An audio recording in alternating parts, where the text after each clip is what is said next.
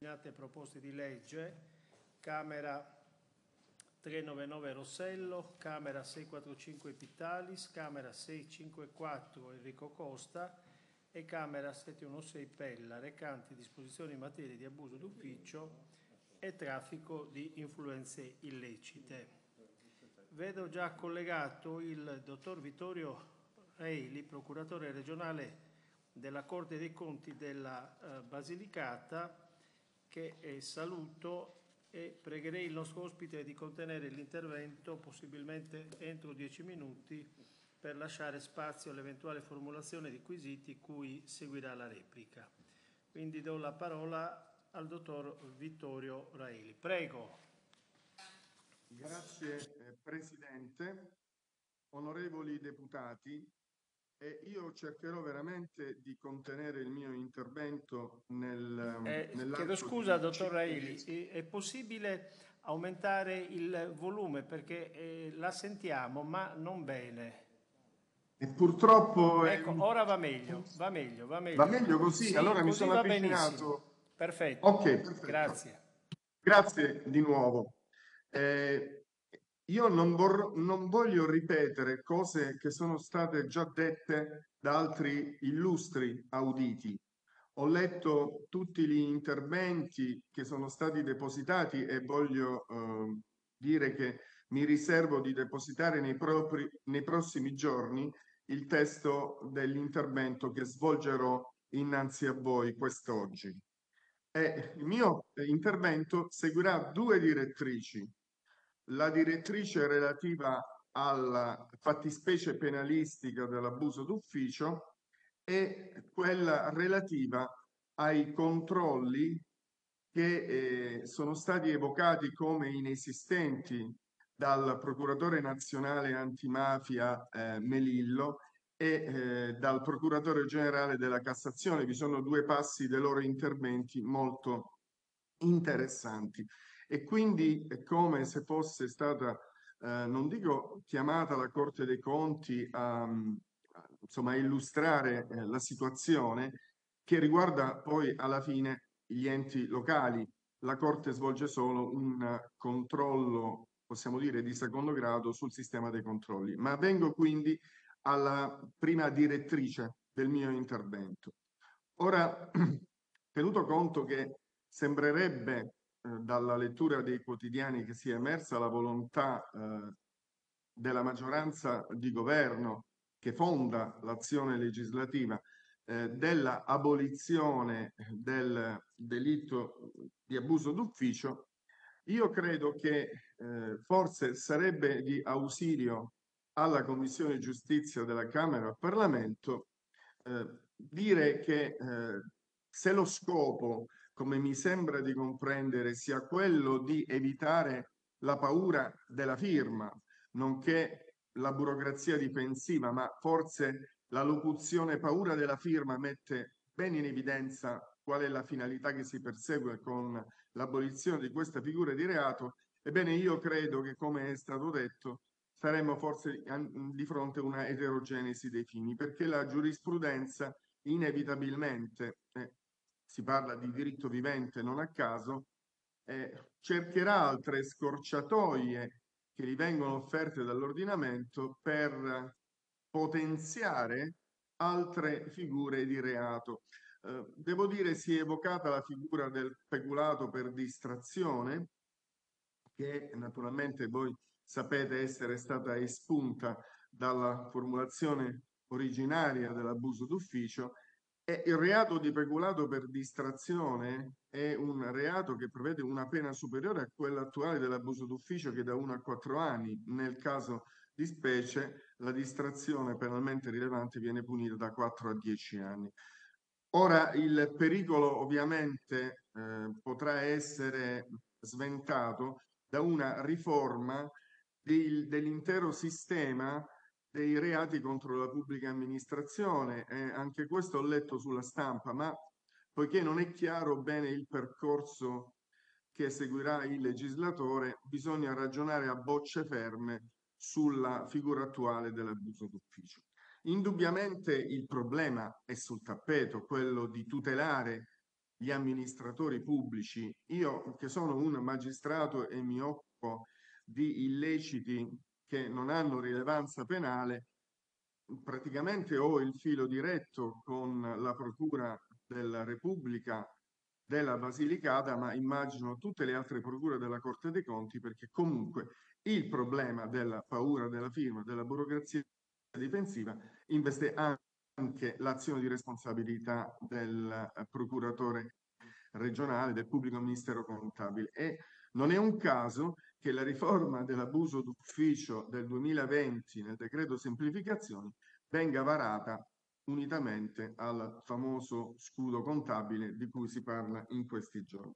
E quindi la prima direttrice voglio dire semplicemente che se questa è l'intenzione del legislatore va bene l'abrogazione purché si preveda, si preveda la punibilità di condotte che prima rientravano nell'abuso d'ufficio ma tipizzate. E qui vorrei richiamare i lavori della commissione Morbidelli eh, del 1996 che in effetti spacchettava l'allora eh, abuso d'ufficio prima della seconda, eh, cioè prima de, scusatemi, della terza riforma e del 97, individuando tre distinte condotte tipizzate, attenzione, differenza dell'abuso d'ufficio anche nella nuova versione. Quali erano queste condotte tipizzate? La prevaricazione, sarebbe l'abuso di danno, il favoritismo affaristico e lo sfruttamento privato dell'ufficio, sarebbe l'abuso di vantaggio.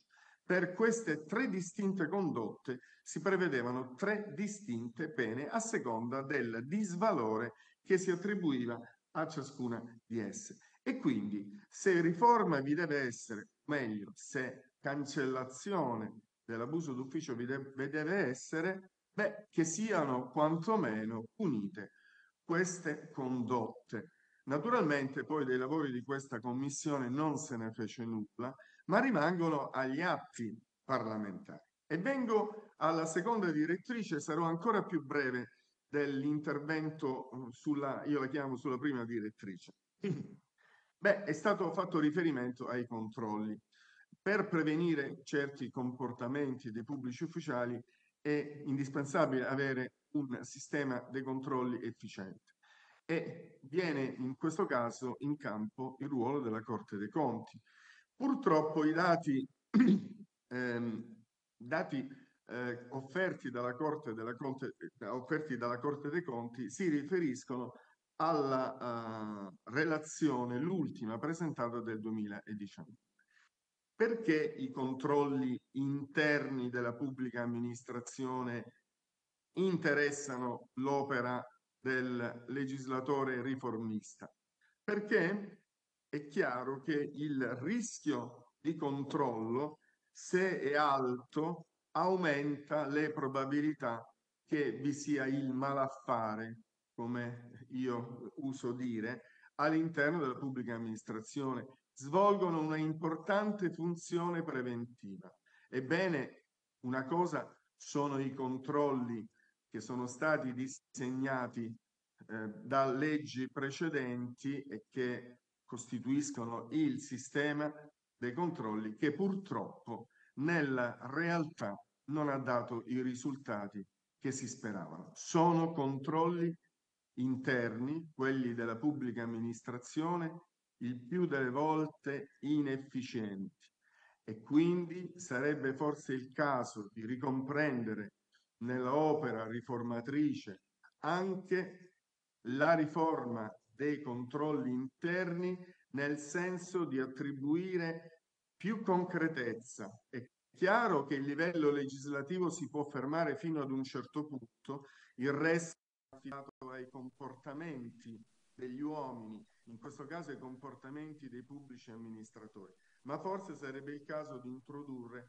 un sistema sanzionatorio, non, non ho ancora ben chiaro quale potrebbe essere, se di tipo penale o di tipo, eh, possiamo dire, amministrativo. Ma sicuramente se si vuole risolvere il problema della paura della firma e non lasciare un vuoto di tutela quello che riguarda la il buon andamento e l'imparzialità della pubblica amministrazione, occorrerà porre mano e a breve sul sistema dei controlli. Ecco, io spero di non aver abusato, per parafrasare l'abuso d'ufficio, del tempo che mi avete concesso. Spero di essere stato chiaro e ripeto, quello che ho detto, ampliandolo, lo affiderò ad un documento che nei prossimi giorni depositerò. Grazie Presidente. Grazie a lei, dottor Raeli. Chiedo se vi sono colleghi. Eh, l'onorevole Carla Giuliano, prego. Eh, grazie Presidente. Eh, Spero che mi sentiate bene perché ho una connessione non, non troppo stabile. No, no, Io uh, saluto e ringrazio... Bene, collega, sentiamo. Be benissimo. Io saluto e ringrazio il procuratore Raedi per la sua relazione e spero che poi vorrà eh, mandare a beneficio di tutta la Commissione una relazione eh, riassuntiva del suo intervento e al procuratore vorrei chiedere due eh, riflessioni. Eh, innanzitutto eh, mi, ehm, quello che mi sembra di aver compreso dalla sua relazione è eh, la necessità in una eventuale ipotesi di abrogazione del reato di abuso di ufficio di eh, accompagnare questa abrogazione da due interventi, uno di tipo penalistico per ricomprendere sotto eh, diverse fattispecie penali eh, alcune, alcune tipologie più gravi, tra cui l'abuso di vantaggio e l'abuso di danno, e eh, da un punto di vista contabile e amministrativo un rafforzamento eh, del, dei controlli. E eh, quindi volevo, eh, come dire, conferma di aver compreso bene. E poi eh, le vorrei chiedere, procuratore, se non ritiene che un'abrogazione to cure senza prevedere null'altro eh, del reato di abuso d'ufficio potrebbe porre l'Italia in contrasto con gli obblighi internazionali e comunitari, in particolare con eh, la Convenzione di Merida sul contrasto alla corruzione e con la nuova proposta di eh, convenzione elaborata dalla Commissione europea. Grazie.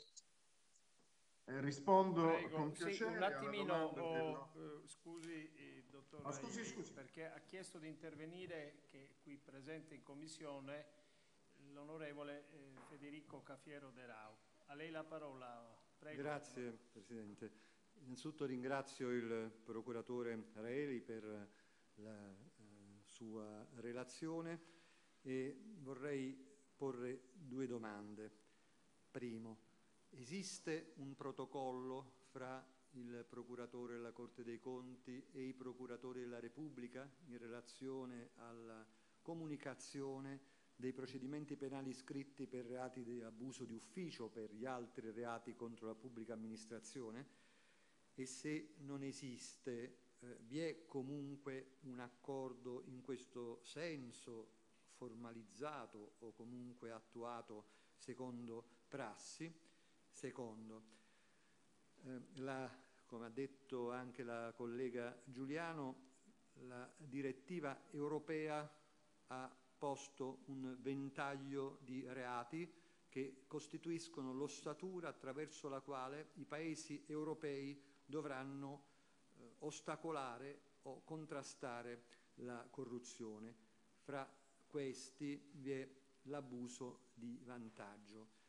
Ritiene che l'eliminazione dell'abuso d'ufficio finisca per determinare un po' una, un, un, dire, una frattura rispetto all'omologazione dell'Italia eh, in relazione alle direttive e all'andamento europeo nel contrasto alla corruzione e nell'ambito di questa domanda le risulta che l'Italia sia uno dei paesi più avanzati sotto il profilo del contrasto alla corruzione, tanto da aver anche presieduto l'ultimo, l'ultimo incontro del G20 proprio in relazione al contrasto alla corruzione. Grazie. Grazie a lei. Do ora la parola al nostro ospite per eh, la replica e per eh, appunto eh, rispondere alle questioni poste dai colleghi. Prego, dottor Raeli. Sì, grazie. Eh, rispondo innanzitutto all'onorevole Carla Giuliano. Allora, eh, confermo la prima parte dell'intervento e eh, credo eh, che senz'altro la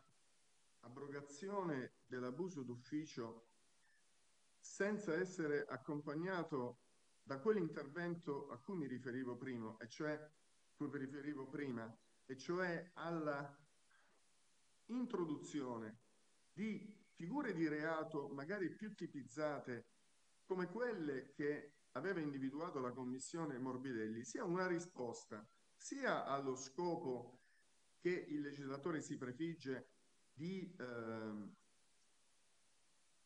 di evitare la paura appunto della firma che colpisce in maniera indiscriminata tutti, gli amministratori onesti e gli amministratori che non lo sono. E sicuramente si pone in contrasto, ma ripeto, queste cose sono state dette molto meglio di me da eh, illustri relatori, e cioè che si pone l'abrogazione eh, solo del, reato, del, solo reato di abuso, di abuso d'ufficio si pone in contrasto con gli impegni assunti a livello internazionale, non ci dimentichiamo che questi documenti sono rappresentativi degli impegni che il legislatore italiano ha assunto in sede internazionale, sia con la Convenzione di Merida che con l'ultima eh, proposta di direttiva eh, relativa mh, appunto alla introduzione per gli ordinamenti che evidentemente non lo conoscono del reato di abuso d'ufficio. Quindi la mia valutazione è che se si vuole, per essere più chiari, uh, escludere l'abuso d'ufficio, non si faccia, uso una metafora, come quando si esclude un farmaco dal prontuario terapeutico per poi riscoprire che magari quel farmaco era utile per curare le patologie relativamente alle quali era stato ammesso. È una metafora che eh, mi è venuta l'altro giorno. Vorrei dire, ogni eh, opera eh, riformatrice deve fare i conti intanto con la, la realtà su cui va ad incidere. Quindi la mia posizione è quella che ho esposto e che l'onorevole Giuliano ha inteso perfettamente. Per venire alla risposta alle due o tre domande che mi sono state fatte dall'onorevole Federico Cafiero De Rao, devo dire per quanto riguarda i protocolli. Allora, sì, ci sono dei protocolli di intesa tra eh, mh, promossi, devo dire, dalla Procura Generale della Corte dei Conti che siede a Roma, ma appunto a livello periferico vi sono tanti protocolli di intesa per quante sono le procure regionali lì, scusatemi, e le procure della Repubblica. In Basilicata, come nelle altre regioni d'Italia, la procura regionale eh, ha un protocollo d'intesa con le varie procure delle, eh, della Repubblica del territorio e per quanto riguarda la mia procura eh, tre anni di vita questo protocollo d'intesa. Non è specifico con riferimento alla, all'abuso d'ufficio. Ovviamente trattandosi di azione erariale che viene ehm, esercitata nei confronti di amministratori e dipendenti pubblici possono venire in considerazione alcuni reati patrimoniali come la truffa aggravata ai danni eh, dello Stato e di altri enti pubblici, ma ah, sicuramente in prima linea, possiamo dire, proprio in relazione alla natura dell'azione erariale, vengono in considerazione i reati dei pubblici amministratori, o meglio, dei delitti dei pubblici ufficiali. E quindi eh, esistono questi protocolli di intesa. Eh, naturalmente devo dire anche un'altra cosa, che i protocolli di intesa mh, diciamo che eh, funzionano eh, allorquando eh, il rapporto tra procuratore regionale e procuratore della Repubblica è un rapporto di collaborazione.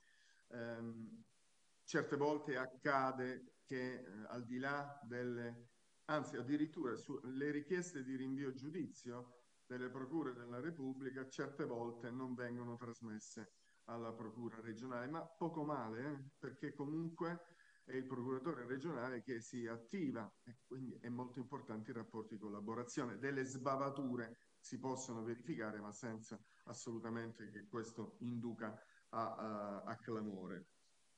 Oh, per quanto eh, riguarda eh, gli impegni appunto assunti a livello internazionale, ritengo anche io che l'abolizione ex abrupto dell'abuso d'ufficio senza la, la introduzione di figure di eh, abuso tipizzate, che però siano tipizzate e che quindi corrispondano alla richiesta di eh, prevedibilità anche delle, delle, figure di reato, eh, credo che sia deleterio per l'Italia. E l'Italia è sicuramente, dalla mia esperienza sia di giudice 25ennale che di procuratore regionale da soli tre anni, l'Italia è, credo, all'avanguardia nella lotta alla corruzione, come lo è stata per il terrorismo.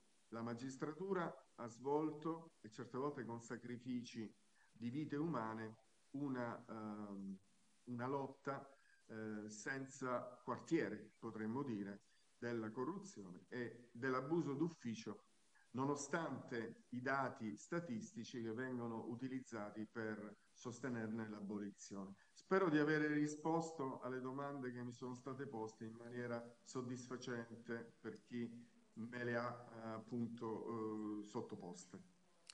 Ringrazio il dottor Vittorio Raeli, procuratore regionale della Corte dei Conti della Basilicata, per il contributo fornito ai lavori della Commissione e dichiaro pertanto conclusa eh, l'audizione. Grazie dottor Raeli. Grazie Presidente e grazie ai commissari. Proseguiamo eh, con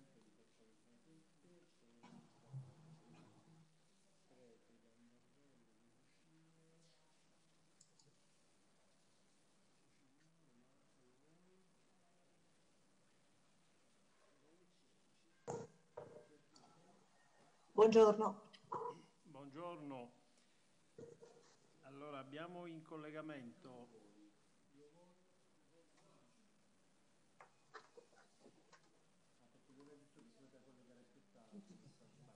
Allora, vediamo un pochino come sì. Allora, l'ordine del giorno reca audizioni informali nell'ambito dell'esame in sede referente delle abbinate proposte di legge Camera 399 Rossello, Camera 645 Pittalis, Camera 654 Enrico Costa e Camera 716 Pella, recanti disposizioni in materia di abuso d'ufficio e traffico di influenze illecite. Avverto nuovamente che le audizioni formali possono essere trasmesse attraverso la web TV della Camera dei Deputati con il consenso degli auditi. Se non vi sono obiezioni ne dispongo oh, l'attivazione. Eh, abbiamo in collegamento, vedo, la eh, dottoressa Tiziana Siciliano, procuratore aggiunto presso la Procura di Milano. Abbiamo tutti il dottor Bruno Cherchi, procuratore della Repubblica presso il Tribunale di Venezia, il dottor Maurizio De Lucia, procuratore della Repubblica presso il Tribunale di Palermo, il dottor Marco Gambardella, sostituto procuratore presso la Procura Generale di Bari, il dottor Francesco Prete, procuratore della Repubblica presso il Tribunale di Brescia. Il dottor Francesco Lovoi si collegherà tardi, pare, vero, procuratore della Repubblica presso oh, la Procura eh, di Roma. Pregherei i nostri ospiti di contenere possibilmente l'intervento entro dieci minuti per lasciare spazio all'eventuale formulazione di quesiti cui seguirà eh, la replica. Do quindi eh, la parola, se mi consentite anche per questione di eh, galanteria, alla dottoressa Tiziana Siciliano, procuratore aggiunto presso la Procura di Milano. Prego dottoressa. Uh, buongiorno, grazie soprattutto per la galanteria, ormai piuttosto desueta.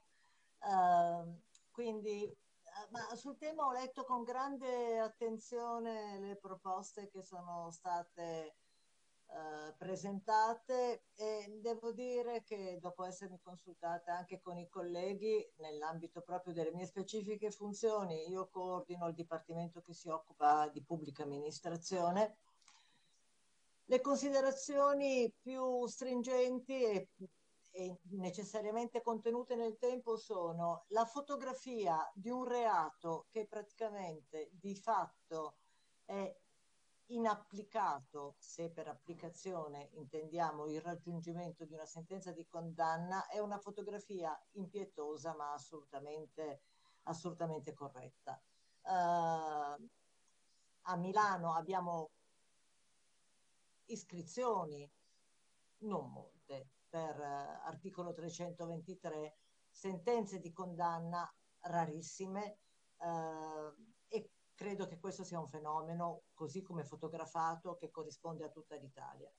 Il ragionamento è, è presto fatto, è un reato sostanzialmente impossibile da trovare, da, da, da, da provare, da, portare a suo compimento esplicativo uh, completo, le differenti riforme che ci sono state dalla formulazione originaria che ci consentiva un'utilizzazione per quanto residuale, è sempre stato un reato residuale l'articolo 323, adesso hanno così tanti uh, distinguo e paletti e, e, e complicazioni di tipo probatorio da renderlo sostanzialmente quasi una lettera morta, se non per quanto riguarda Milano quantomeno nella parte della violazione dell'obbligo di astensione laddove vi sia un, un, interesse privato proprio o altrui, che poi un po' richiama la vecchia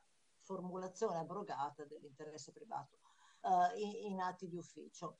Ora, la soluzione che viene proposta di abrogazione to cure uh, del reato, francamente però sconcerta, perché qua non si guarda un pochino la genesi. Adesso abbandoniamo quelle stravaganti teorie che vedono i PM come ass- colpiti da una sorta di bulimia investigativa per cui dilagano in maniera vorace su tutti i campi uh, delle condotte umane uh, per soddisfare non si capisce bene quale uh, p- proprio bisogno, ma la realtà è che buona parte dei reati dei fascicoli che vengono iscritti per abuso di atti d'ufficio sono denunce di cittadini di fronte a, metto tra virgolette, malefatte da loro individuate come tali della pubblica amministrazione, talvolta in termini non così generici da dar luogo a una immediata uh, collocazione negli atti non costituenti reato, abbastanza specifiche da far individuare che una violazione sia concepibile, ma sarà concepibile e concepita soltanto quando avremo modo di riconoscere e ricostruire un fatto che poi possa essere sovrapposto alla, alla norma astratta prevista dalla legge, vedendo se poi corrisponde. Se non possiamo fare neanche questa attività, francamente risulta un, un pochino difficile. Per cui andiamo a vedere e ci rendiamo conto che moltissime denunce, moltissime denunce parlano proprio di, un, di, di doglianze, rappresentano doglianze della collettività rispetto a fatti che si manifestano come reati, ma ovviamente parti dalla base. Quando si parla di residuale si pensa sempre di aver esperito tutte le strade e che residui, questo rigagnolo costituito dall'articolo 323, ma la residualità può essere anche concepita inizialmente, cioè partire da un'ipotesi di reato concepibile che ha un suo fondamento, una sua ragionevolezza in termini così come concepito adesso di violazione di legge, ormai non c'è più l'eccesso di potere, quindi voglio dire soltanto in termini di violazione di legge e come tale si cerca di inquadrare pur in una fattispecie eh, minimale quello che viene descritto dal cittadino come un fatto che gli ha cagionato un danno, che ha procurato un vantaggio patrimoniale, insomma, che ha sviato da quello che è la correttezza del comportamento del, della pubblica amministrazione. Indeterminatezza, non credo proprio, in una formulazione come quella che è stata data adesso, parlare di indeterminatezza dell'articolo 323, francamente eh, risulta veramente un, un, po' paradossale, forse è una determinatezza talmente compressa che, che, che rende tutto molto difficile perché altrimenti che cosa, che cosa rimane? Rimane soltanto una valutazione di un man, mancato obbligo di astensione, quello invece rimane eh, eh, chiaro e, e, determinato. Per cui io trovo che questo clamore che viene suscitato, questo disvalore che viene legato al fatto che moltissimi fascicoli che, che, si creano con la contestazione di 323 finiscano con archiviazioni quasi sempre, ben difficilmente si, si arriva poi anche al processo vero e proprio, non solo de- non deve essere visto come patologico, ma secondo me addirittura come positivo, cioè significa un corretto funzionamento della, della giustizia penale rispetto a precise doglianze. Noi non iscriviamo i fascicoli perché ci svegliamo al mattina con la fame di, di, indagare. Iscriviamo fascicoli perché qualcuno denuncia un fatto che concepisce come fatto di reato, a cui noi dobbiamo dare una risposta che può essere certamente anche eh, negativa, anzi giustamente se il sistema funziona correttamente molto spesso eh, è negativa. Ci sono norme di garanzia, norme difensive che, che rendono ovviamente ancora più stringente questo nostro obbligo che noi, PM, consideriamo prioritario.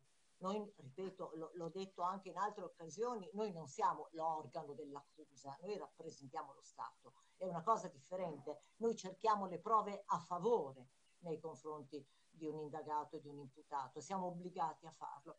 Quindi non, non riesco a, a, a, a veramente a capire perché questo allarme rispetto a un meccanismo che evidentemente funziona che a fronte di numerosissime denunce che vengono presentate, forse magari ragionando un po' su inerzia eh, della pubblica amministrazione, nel, nell'autocorreggere i propri errori, eh, hanno una risposta giudiziaria, ma corretta e che molto spesso si va a arenare direttamente nelle indagini preliminari, conseguente senza danno, senza neanche iscrizioni, voglio dire, di carichi pendenti. Questo è un punto di vista che, che mi fa vedere con grande preoccupazione o sfavore uh, l'idea di una abrogazione tout court e mi fa uh, che, e, e, e, e, mi fa domandare come uh, un'ulteriore compressione e limitazione rispetto a quella già francamente enormi e qua c'è una grande rappresentanza dei procuratori della Repubblica, quindi di, direi proprio che, che, che, potranno forse confermare il mio punto di vista, ma le limitazioni fornite dall'articolo 323 nella formulazione attuale, cioè dopo il 2020, sono già assolutamente mettono in un angolo e lasciano uno spazio di apertura veramente eh, modestissimo, che spiega anche le numerosissime archiviazioni e anche sentenze di assoluzione. Credo di essere rimasto nei cinque minuti che mi avevate, mi avevate concesso. No? Grazie, dottoressa Siciliano. Eh, do la parola al dottor Bruno Cherchi, procuratore della Repubblica presso il Tribunale di Venezia. Prego, dottor Cherchi.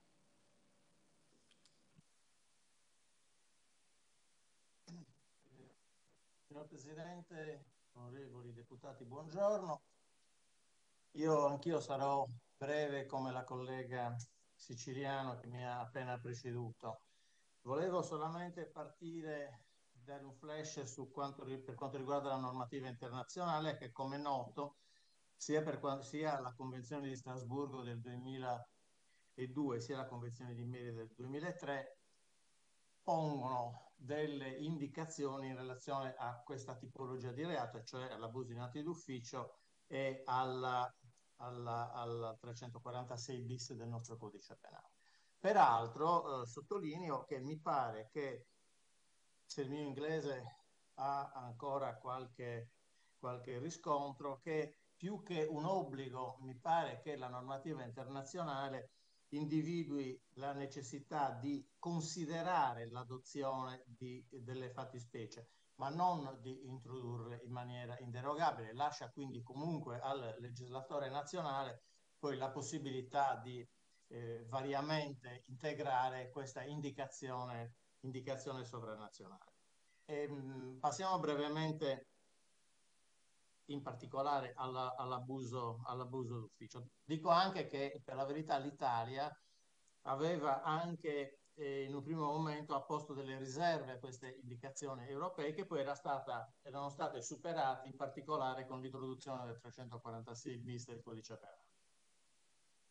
Abuso d'ufficio, quindi il problema sembra essere quello della paura della firma. Allora, eh, sicuramente la paura della firma è stata allegata da tantissimi sindaci, tantissimi funzionari pubblici, quindi comunque bisogna tenere presente questa, questa indicazione che a giusto o a torto comunque è sentita, è sentita come, come un pericolo, come una, un, una difficoltà nell'agire, nell'agire amministrativo. Eh, penso che questa paura, che ripeto, è sicuramente esistente, dipende anche in gran parte dalla confusione della normativa amministrativa da un lato e dall'altro anche dalla eh, difficoltà, eh, de, dalla limitatezza, dalla eh, dif insomma, difficoltà generale dei controlli all'interno della pubblica amministrazione. questo perché? Perché si nota, lo ha appena detto la collega siciliana, che noi, siciliano, che noi abbiamo negli uffici di procura, quantomeno in quello eh, che rappresento, una quantità rilevante di denunce o esposti o comunque eh, di eh, attività, soprattutto di privati, ma anche di, ehm, di, appartenenti alla pubblica amministrazione dei vari uffici, ma anche di eh, consiglieri comunali, ad esempio, che eh, in continuazione, direi, perché il numero è rilevante, sottopongono attività, atti, comportamenti che loro ritengono lesivi alla, alla, procura, alla procura, della Repubblica. Ehm, è questo che, che ha evidentemente portato alla creazione e al mantenimento, almeno finora, del 323 del codice penale che, come è noto, ha avuto però una storia molto travagliata nel tentativo sempre di limitare la, uh, la portata della fattispecie, portata della fattispecie che comunque lascia ancora dei margini, dei margini di, di, di intervento, pur evidentemente nella difficoltà di tipizzazione effettiva del, delle condotte penalmente rilevanti, tanto che ancora si discute se eh, può essere in alternativa all'abolizione, se può essere ulteriormente delimitata la fattispecie. È stato, è stato, ricordato, ma è noto che esiste una grande, una grande differenza tra il, eh, il, le iscrizioni a modello 21 e quindi l'iscrizione al registro degli indagati e poi le effettive condanne del, de, ottenute poi in sede, in sede giurisdizionale. Una eh, differenza talmente elevata che indubbiamente deve eh, stimolare una, una, riflessione, anche se la sentenza 8, 8, del 2022 della Corte Costituzionale ha detto che questo, questa, questa, differenza tra numeri di iscrizione e numeri di condanne non, eh, dire, non eh, giustifica un intervento, intervento limitativo. Allora, su questa su questa sproporzione che io penso sia il punto centrale del, uno dei punti centrali della riflessione e sicuramente dobbiamo dire, come eh, ricordavo, che esistono una quantità enorme, di, enorme insomma, una quantità rilevante di denunce eh, poste dai cittadini e dagli stessi amministratori pubblici che evidentemente ritengono di eh, rivolgersi alla, all'autorità giudiziaria penale, invece eh, di eh, rivolgersi ai controlli interni. Come ho detto, probabilmente sono di scarsa di scarsa rilevanza, di scarsa efficienza o comunque di non, di non eh, soddisfazione, eh, pensando che appunto l'attività penale possa essere, possa essere ecco, eh, questo però, a mio avviso, va, eh, va detto insieme ad, ad un altro elemento, cioè che spesso queste denunce in qualche maniera, questi esposti meglio ancora, spesso hanno un, un, duplice, un duplice indirizzo, cioè la Procura della Repubblica e la stampa. Cioè intendo dire che queste eh, tipologie di, di esposti spesso hanno più un obiettivo, o hanno anche un obiettivo di far partecipare la collettività per interessi di vario tipo, che spesso, spesso, moltissimo, saranno anche eh, come dire, di interesse pubblico generale, ma talvolta nascondono anche contrasti eh, che, veri o supposti che vengono proposti per, per una, uh, un'indagine penale eh, ripeto, probabilmente perché il sistema amministrativo, sia quello dei controlli interni, sia quello del controllo del giudice amministrativo, non, non sono ritenuti corretti o sufficienti. Allora, se noi abbiamo però questa, ehm, questa differenza enorme tra denunce e eh, condanne, eh, penso che il, eh, il, la valutazione non deve essere solamente quella di eh, rilevare che proprio perché ci sono queste eh, assoluzioni, eh, queste, o meglio ancora, che ci sono queste così poche condanne, il problema non, non esiste. Perché a mio avviso il grosso problema non è solo, visto appunto questa episodicità delle condanne, non è tanto o solo quello della condanna ma il problema è il processo, meglio ancora, lo stesso procedimento eh, che si svolge in indagini preliminari. Questo perché moltissime volte, il, spesso è questo il vero obiettivo, il, la, l'esposto, la denuncia eh, viene in qualche maniera strumentalizzata per poter avere spazio nel, nel, nella stampa, nei giornali e quindi il danno per il pubblico funzionario non è solamente quello della condanna penale, che ripeto è assolutamente limitata ed è limitata probabilmente per dati di prova, ma è limitata dalla stessa fattispecie come è stato, come è stato più, volte, più volte ricordato. Il problema è, sono le indagini preliminari, sono le indagini preliminari perché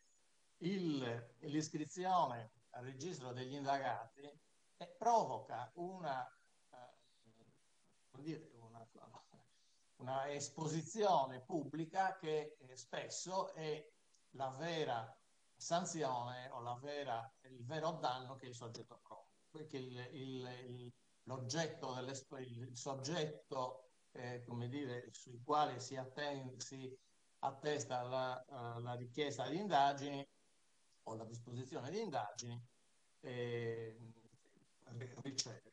Allora, eh, io penso che è un problema un po' più generale rispetto all'abuso di ufficio, ma direi che forse questo è il caso che consente un approfondimento. Il problema è quello, a mio avviso, di normare in maniera puntuale l'iscrizione delle notizie di reato, cioè meglio precisare in termini normativi quando si deve procedere all'iscrizione al modello 45 fatto non costituente reato o a modello 21 e cioè indagato e quindi fatto costituente reato nei, che naturalmente è oggetto di indagini. Questo passaggio eh, allo Stato ha una, uh, una indubbia possibilità eh, discrezio- di discrezionalità che è giusta, eh, perché è chiaro che la valutazione deve essere fatta, però finora su, questo, su questi argomenti si è intervenuti da, soprattutto con atti organizzativi dei procuratori della Repubblica, perché non vi è una precisa indicazione normativa. Ci sono anche delle sentenze della Cassazione che lo individuano, però io penso che questo dovrebbe essere normato, cioè ci dovrebbe essere un intervento del legislatore per quanto possibile, eh, che, che, che probabilmente dovrà lasciare uno spazio comunque di valutazione al procuratore della Repubblica e che però in qualche maniera, da un lato, precisi meglio le indicazioni del registro e dall'altro anche tuteli la, questo tipo di valutazione che pur restando discrezionale può creare poi qualche problema alla, in, in, relazione alle modalità, alle modalità di iscrizione.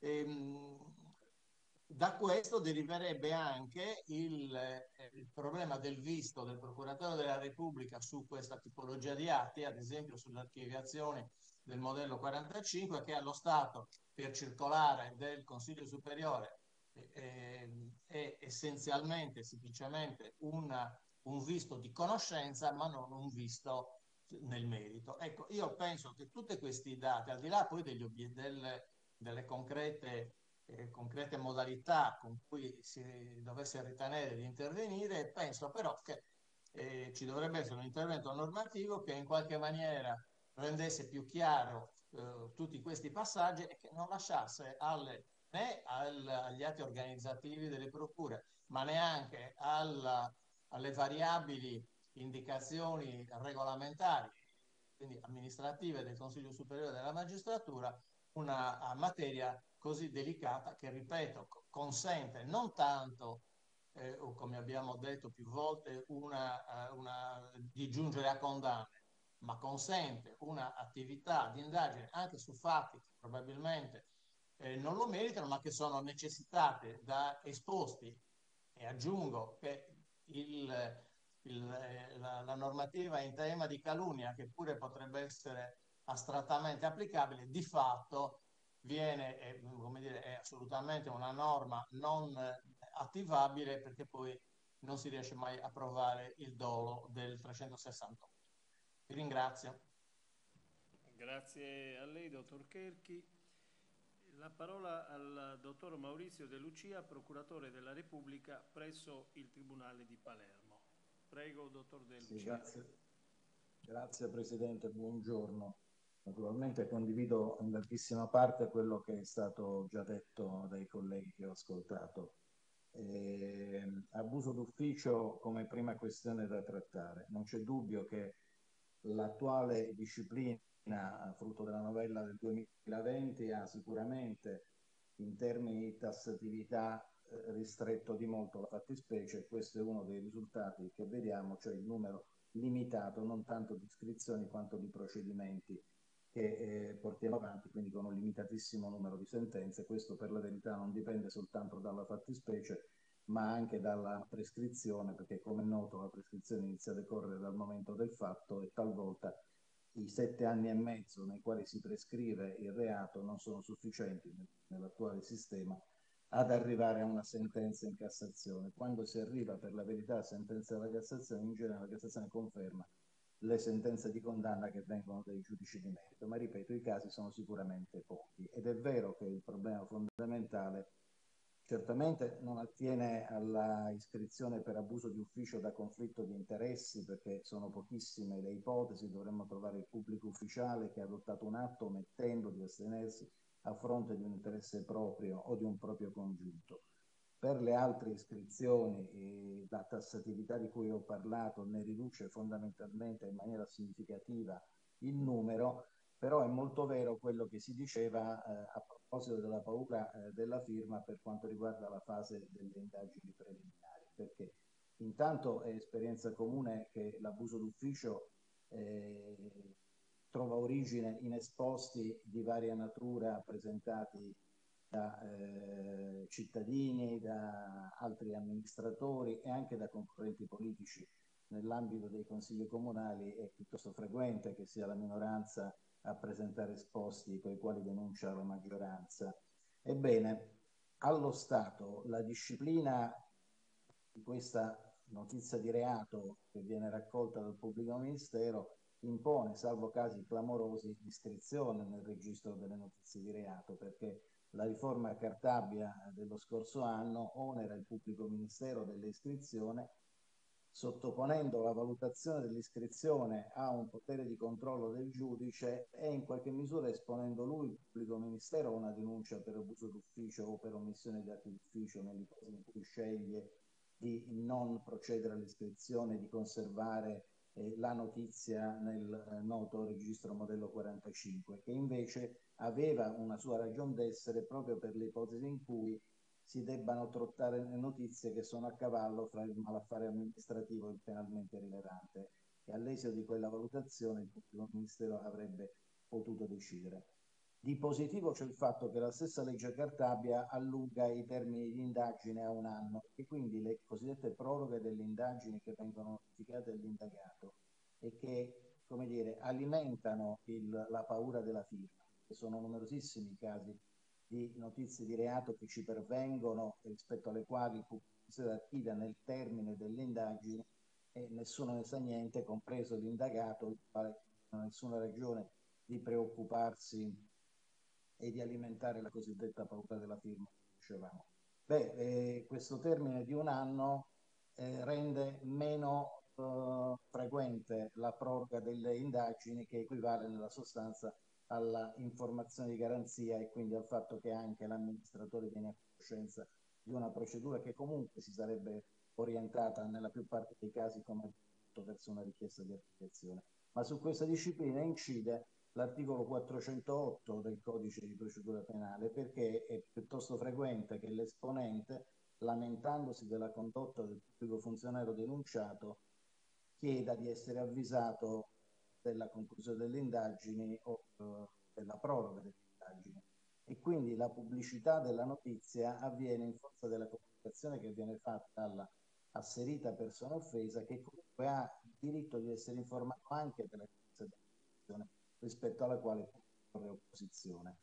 Quello è uno dei momenti nei quali, come dire, eh, può avere una eco significativa eh, la vicenda processuale che altrimenti sarebbe rimasta serenamente eh, nel segreto di un'indagine che sostanzialmente indagine non è una volta che il pubblico ministero ne ha valutato l'infondatezza.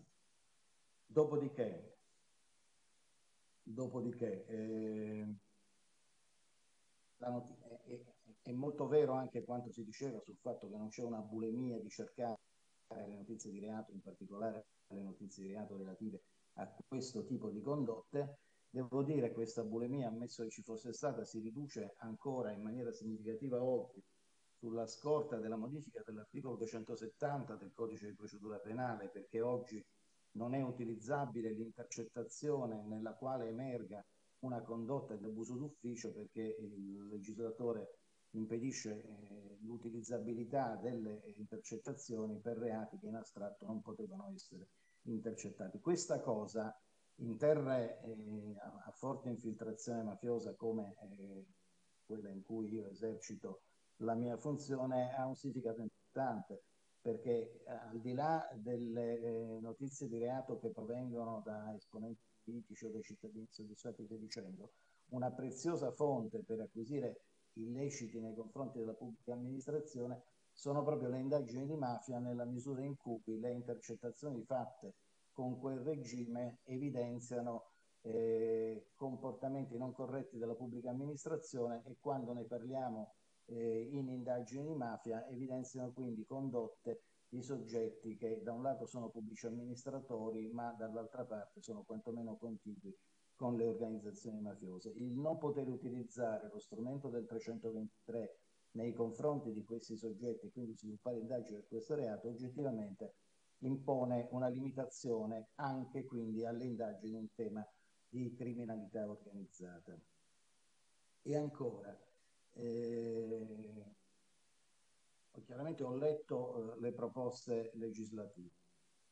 Dico subito che eh, le modifiche devono tenere conto necessariamente dell'ordinamento internazionale, sono state già citate la Convenzione dell'ONU contro la corruzione del 2003, ma eh, direi di stringente attualità la direttiva europea a cui proposta è formulata il 3 maggio del 2023 che prevede espressamente, a mio giudizio, condotte eh, di abuso di vantaggio che devono essere punite. Quindi un ragionamento sulla modifica del 323 necessariamente deve tenere in piedi la punibilità delle condotte abusive di vantaggio.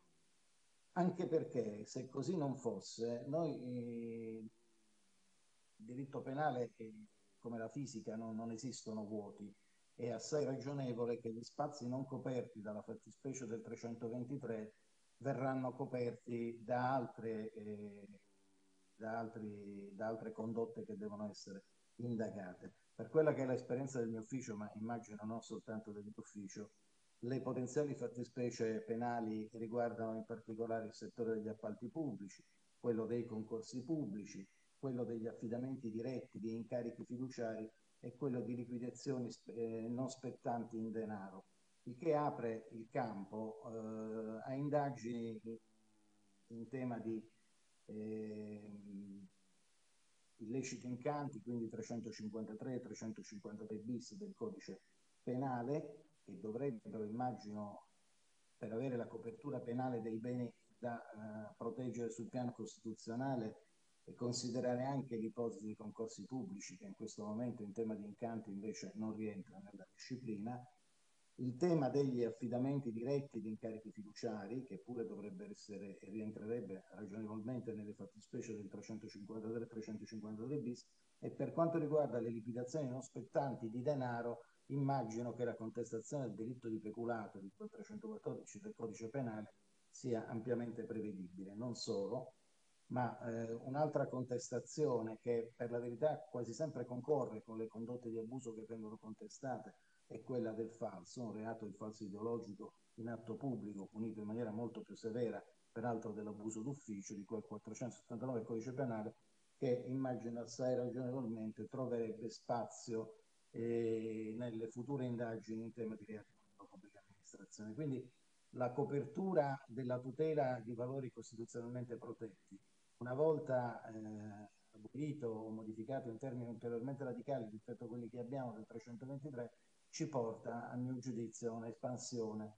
degli altri reati eh, che investono la stessa area di condotta.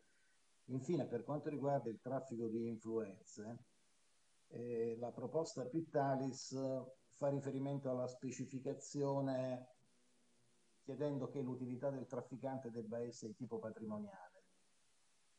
Qui, per quello che abbiamo visto io e i colleghi del mio ufficio, c'è un contrasto anche qui col diritto internazionale perché la Convenzione penale sulla corruzione di Strasburgo del 99 fa riferimento a qualsiasi vantaggio in debito e lo stesso per la verità anche la Convenzione del 2003 fa riferimento a un indebito vantaggio, nessuno peraltro quando parliamo di corruzione fa mai riferimento esclusivamente a un vantaggio patrimoniale, ma si fa riferimento a un concetto di utilità più ampio.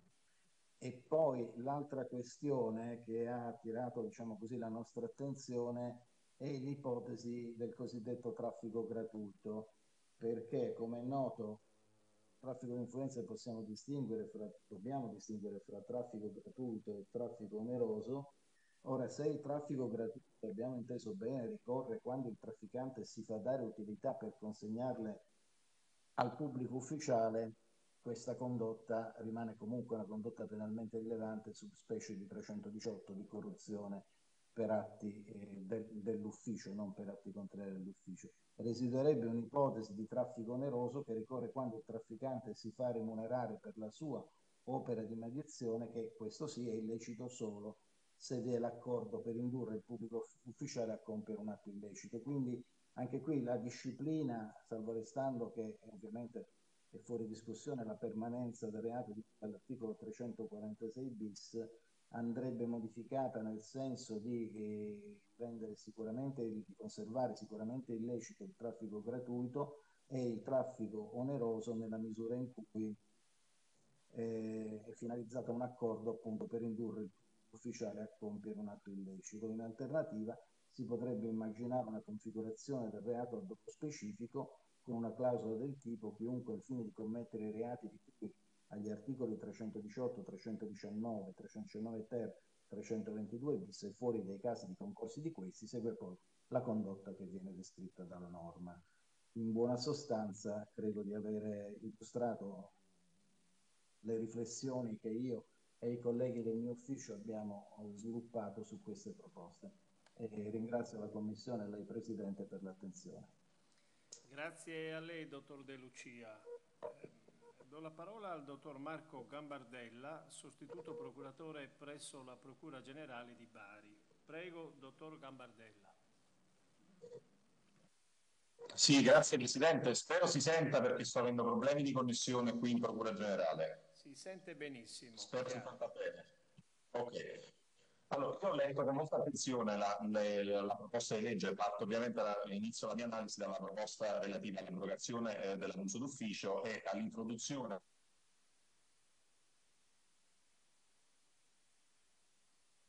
Ecco, dottor Gambardella, abbiamo perso l'audio. Dovrebbe essere inserito il corpo del decreto legislativo dottor numero 65 Gambardella, marzo 2001. Scusi, dottor Gambardella, perché abbiamo perso l'audio e quindi se può riprendere cortesemente perché non... Si sente? Ora la sentiamo. Sì. Prego. Eh?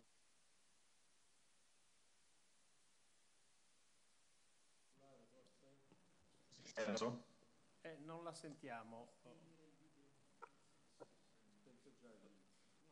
Provo a connettermi dal cellulare, se mi dà un Ecco, attimo. ora ehm, a tratti la sentiamo. Col cellulare forse... Eh, anche io sento a tratti, sì. Ora provo dal cellulare, un attimo.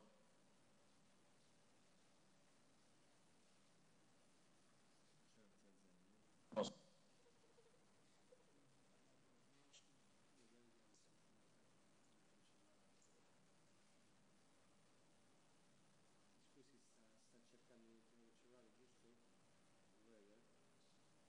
Vediamo se dal cellulare funziona.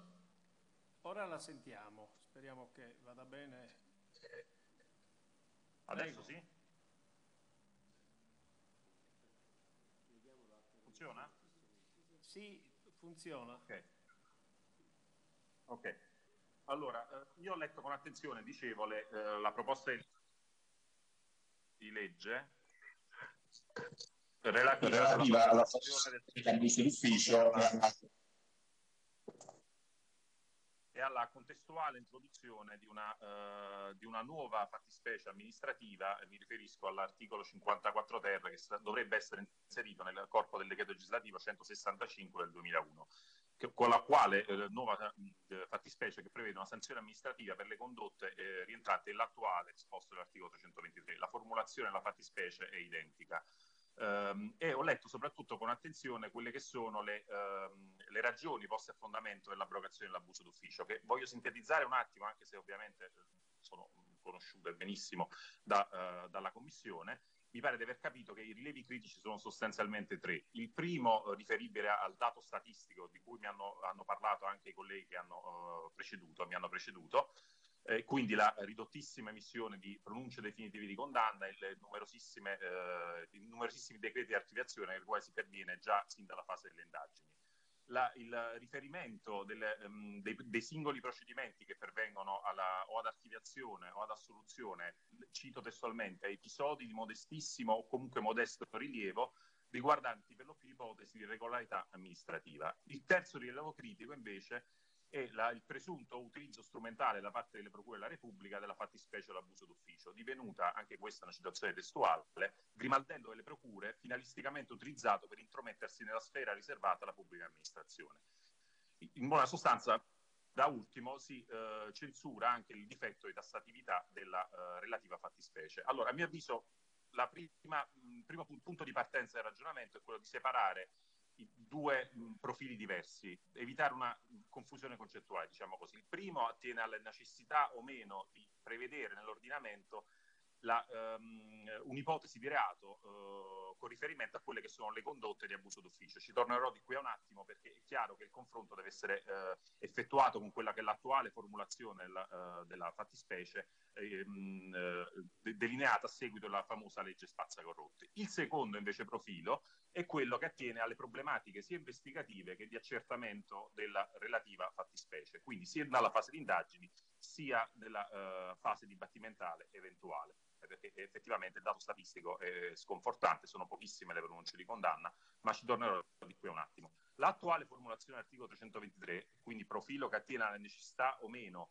eh, di eh, prevedere una, la relativa ipotesi di reato, a mio avviso è già espressamente tassativa nella sua formulazione e contempla fatti connotati da rilevante gravità, non di modestissima entità. Si tratta sostanzialmente, senza che eh, rilego la norma per non far perdere tempo a nessuno, di eh, comportamenti di pubblici amministratori che consapevolmente eh, violano eh, norme di legge che prevedono regole eh, tassative dalle quali appunto non residuano i margini di discrezionalità e questa consapevolezza nel violare regole eh, normative previste da fonti primarie è, è finalizzato, è il profilo del dono intenzionale, a procurare a sé o ad altri un giusto vantaggio. E questo il, la fattispecie di cui si parla. Quindi una intenzionale, consapevole violazione di eh, norme di legge finalizzata ad arrecare ad altri un giusto profitto.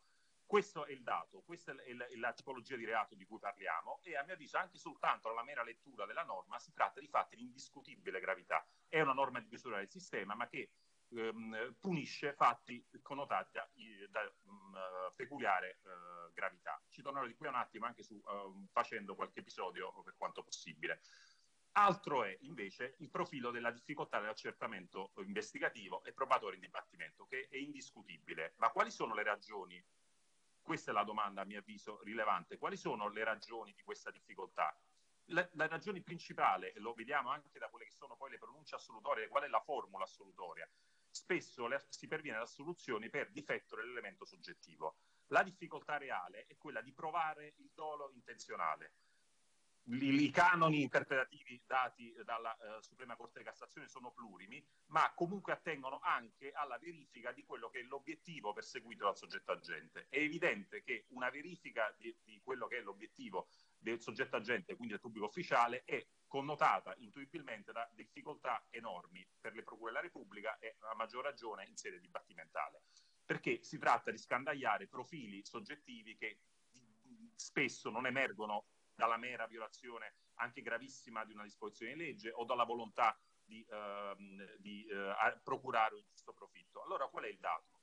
Il dato sarebbe, a mio avviso, quello di probabilmente ampliare quelli che sono i poteri investigativi della Procura della Repubblica innanzitutto dare uno spazio per la verifica applicativa di quella che è la nuova ehm, eh, formulazione della, dell'abuso d'ufficio, ma anche eventualmente, mi permetto di, di, di, di eh, avanzare queste ipotesi, ampliare che la, la, quelli che sono i poteri istruttori in, uh, in, capo alle procure della Repubblica, eventualmente anche modificando l'articolo 266 del codice procedura penale e consentire le intercettazioni telefoniche e ambientali anche con riferimento a queste ipotesi di reato.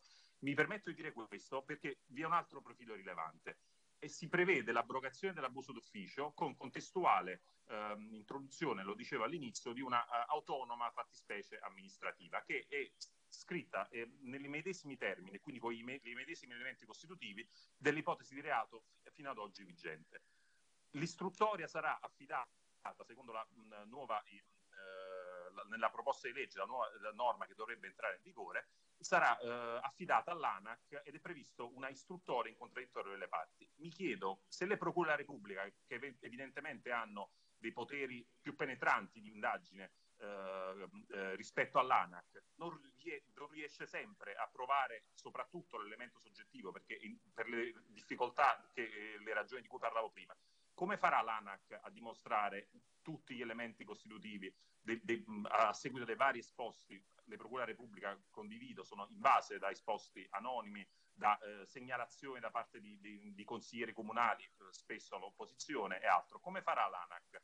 E soprattutto le, siamo sicuri che il presunto utilizzo strumentale della fattispecie delle indagini in tema dell'abuso d'ufficio sarebbe evitato affidando all'ANAC un istruttore per una fattispecie amministrativa? Si riverserebbe evidentemente soltanto nelle nuove procedure che poi determinerebbero a cascata una serie di ricorsi in, in, um, al giudice amministrativo per contestare appunto la, la, la, la, sussistenza di tutti gli elementi costitutivi del reato dell'abuso d'ufficio.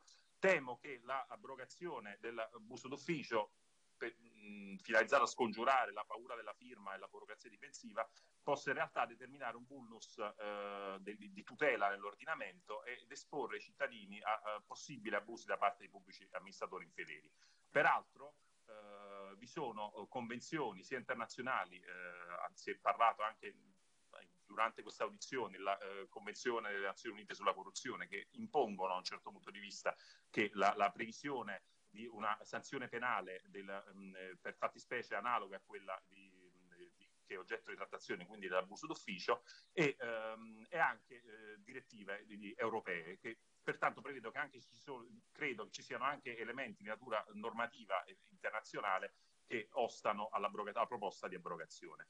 Un flash eh, davvero per non rubare altro tempo per quanto riguarda il, le modifiche della eh, fattispecie articolo 346 bis del codice penale. Modifica che eh, sostanzialmente ha come ehm, si muove in un duplice profilo. L'utilità eh, in caso di approvazione della modifica sarà soltanto patrimoniale e eh, l'attività ehm, eh, oggetto che sa- dovrà essere alla cui è finalizzata la mediazione deve, deve avere una natura illecita. Anche qui leggo quelle che sono le argomentazioni della proposta di legge, esigenza di rispettare il principio di legalità e, ed evitare un'artificiosa caccia, caccia difensiva a relazioni giuste per evitare una presunzione di criminosità dell'attività politica. Credo che eh, queste argomentazioni non tengano in debito conto quella che mh, la concreta applicazione della norma in sede giurisdizionale. Vi sono plurime sentenze, anche recentissime, della Corte Suprema di Cassazione, ne, ne cito soltanto due, la eh, 1182 del 14-10-2021 e la 40-518 dell'8 luglio 2021, che hanno già circoscritto, prevedendo espressamente l'illecità finale di quella che è la, l'attività del, del, pubblico ufficiale che poi sarà eh, avvicinato dal mediatore, leggo mh, soltanto la massima, in tema di traffico di influenze, la mediazione è onerosa e illecita se l'accordo tra il committente e il mediatore è finalizzato alla commissione di un illecito penale, idoneo a produrre vantaggi debiti al primo, non assumendo rilievo l'illegittimità negoziale per difformità dal contatto tipico di mediazione, preesistente o potenziale tra il mediatore e il pubblico agente per il conseguimento di un fine lecito. Già la concreta applicazione giurisprudenziale in, in sede di legittimità, quindi nella massima sede giurisdizionale, elide radice quelle che sono le preoccupazioni, a mio avviso, che eh, porterebbero alla prospettata modifica della fattispecie di cui trattasi. Vi sono anche altre pronunce eh, relative, ad esempio, alla eh, fattispecie della raccomandazione, di che è stata esclusa la eh, rilevanza penale e pertanto credo che il, il, qualsiasi modifica, considerando la, eh, quella che è la compiuta applicazione in sede giurisdizionale della, eh, della relativa fattispecie, sia superflua. Grazie mille. Grazie a lei, dottor Gambardella. Eh, la parola al dottor Francesco Prette, procuratore della Repubblica presso il Tribunale di Brescia. Prego, dottor Prette. Grazie Presidente, ringrazio lei, i membri della Commissione per eh, questo invito. E cercherò di essere rapido dicendo, partendo da una considerazione, l'attuale dibattito ha generato tre posizioni, quella di chi vuole abolire il reato stesso, quella di chi lo vuole conservare, quello di chi lo vorrebbe eh, riscritto, magari dopo aver atteso la direttiva che attualmente è al vaglio degli, dei competenti organismi europei dopo lo scandalo Qatargate. Le ragioni a sostegno della proposta, diciamo più radicale, di abolire il reato eh, risiedono eh, sostanzialmente in due aggettivi. Si dice che l'attuale fattispecie sia inutile e dannosa. Inutile nella misura in cui non porta quasi mai a condanna, dannosa perché nel frattempo ha eh, generato l'avvio di un procedimento che di per sé solo genera discredito per la pubblica amministrazione e afflizione per il pubblico funzionario che eh, lo ha subito e che ha pazientemente atteso un esito che quasi sempre è assolutorio. I fautori della conservazione invece ritengono che, soprattutto a seguito della riforma del 2020, si sia risolto il problema della indeterminatezza della fattispecie, per cui non resta altro che sensibilizzare i pubblici ministeri a non effettuare iscrizioni avventate che, come detto, di per sé sole generano generano danno. Bene, io non mi annovero, poi spero di, poter, di fare in tempo a dire qual è il mio punto di vista finale, non mi annovero fra i fautori dell'abolizione del reato e tuttavia mi convincono, direi poco, assai poco, gli argomenti di chi vorrebbe conservare lo status quo, cioè il reato così com'è, con tutte le sue ricadute negative mi convincono poco perché il problema non è affatto quello di sensibilizzare i pubblici ministeri a non fare iscrizioni avventate. Come è stato detto da chi mi ha preceduto, noi riceviamo, direi quotidianamente, segnalazioni, esposti, abusi scusi, esposti denunce per abusi e il pubblico ministero, regole alla mano, non può fare altro che iscrivere questi, questi esposti in un registro. Per cui la scelta è indotta, direi imprescindibile, direi doverosa da parte del pubblico ministero, il quale è vero può iscrivere al cosiddetto modello 45, ma vorrei segnalare a chi non, è, non frequenta le aule di giustizia quotidianamente che sta prendendo piede una tendenza, cioè quella di denunciare il pubblico ministero per aver iscritto l'esposto originario a modello 45, averlo autoarchiviato, come si dice, e questo sta generando un, conten- un contenzioso che chi lavora nelle procure distrettuali, come dire, ca- eh, eh, percepisce quotidianamente. Questo naturalmente non riguarda questo trend in, crescenda, in crescendo degli, delle denunce contro i pubblici ministeri, riguarda anche i giudici per avere assunto o non assunto determinate decisioni, ma non è di questo che dobbiamo parlare oggi.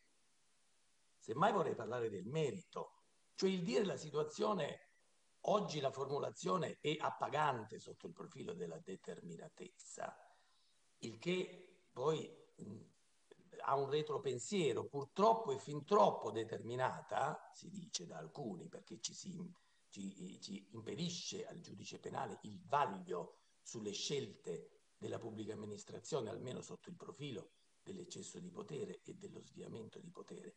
Comunque chi ritiene che oggi la situazione, la descrizione della fattispecie sia appagante, credo che eh, eh, perda, abbia perso di vista, o meglio rischi di perdere di vista, quelle che sono le critiche di controparte. Critiche che, devo dire, in qualche misura traspaiono anche dalla citata sentenza numero 8 della Corte Costituzionale che nel 2020 ha ricordato che l'intento del legislatore del 2020, cioè quello del decreto semplificazioni, sia stato quello di rendere trasparente l'intento di sbarrare la strada a uh, interpretazioni giurisprudenziali, cito le parole della Corte, che avevano dilatato la sfera di operatività della norma introdotta nel 97.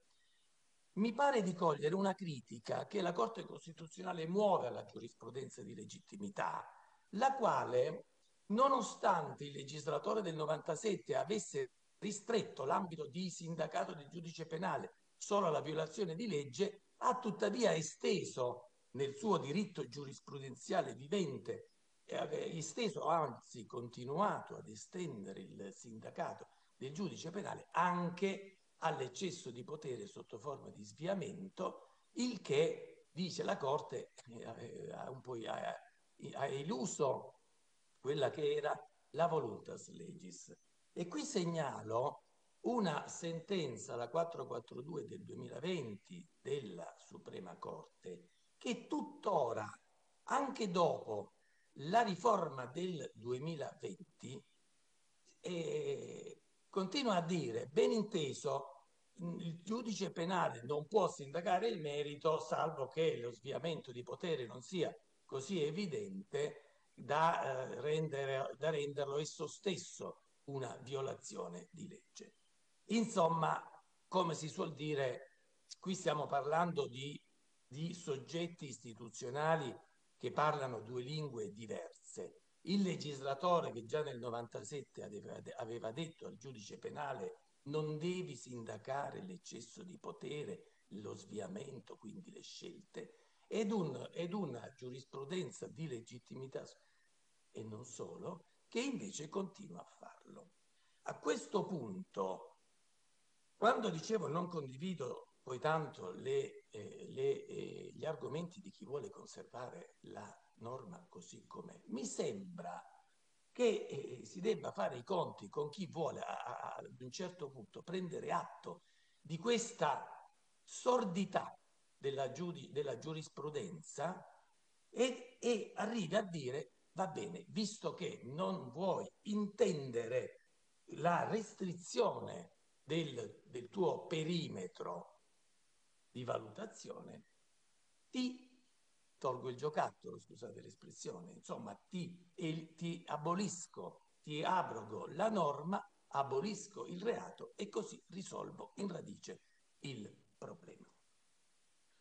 Questa eh, ha portato, dicevo, questo scontro, questa giurisprudenza che eh, nonostante tutto continua a rivendicare il potere di sindacare le scelte, ha portato all'ultima riforma, quella del 2020, che a mio avviso non risolve ma ingigantisce il problema, perché oggi eh, finis- si finisce per punire in astratto, devo dire molto in astratto, l'abuso d'ufficio solo quando sia in violazione di regole espressamente previste dalla legge dalle quali non residuino margini di discrezionalità.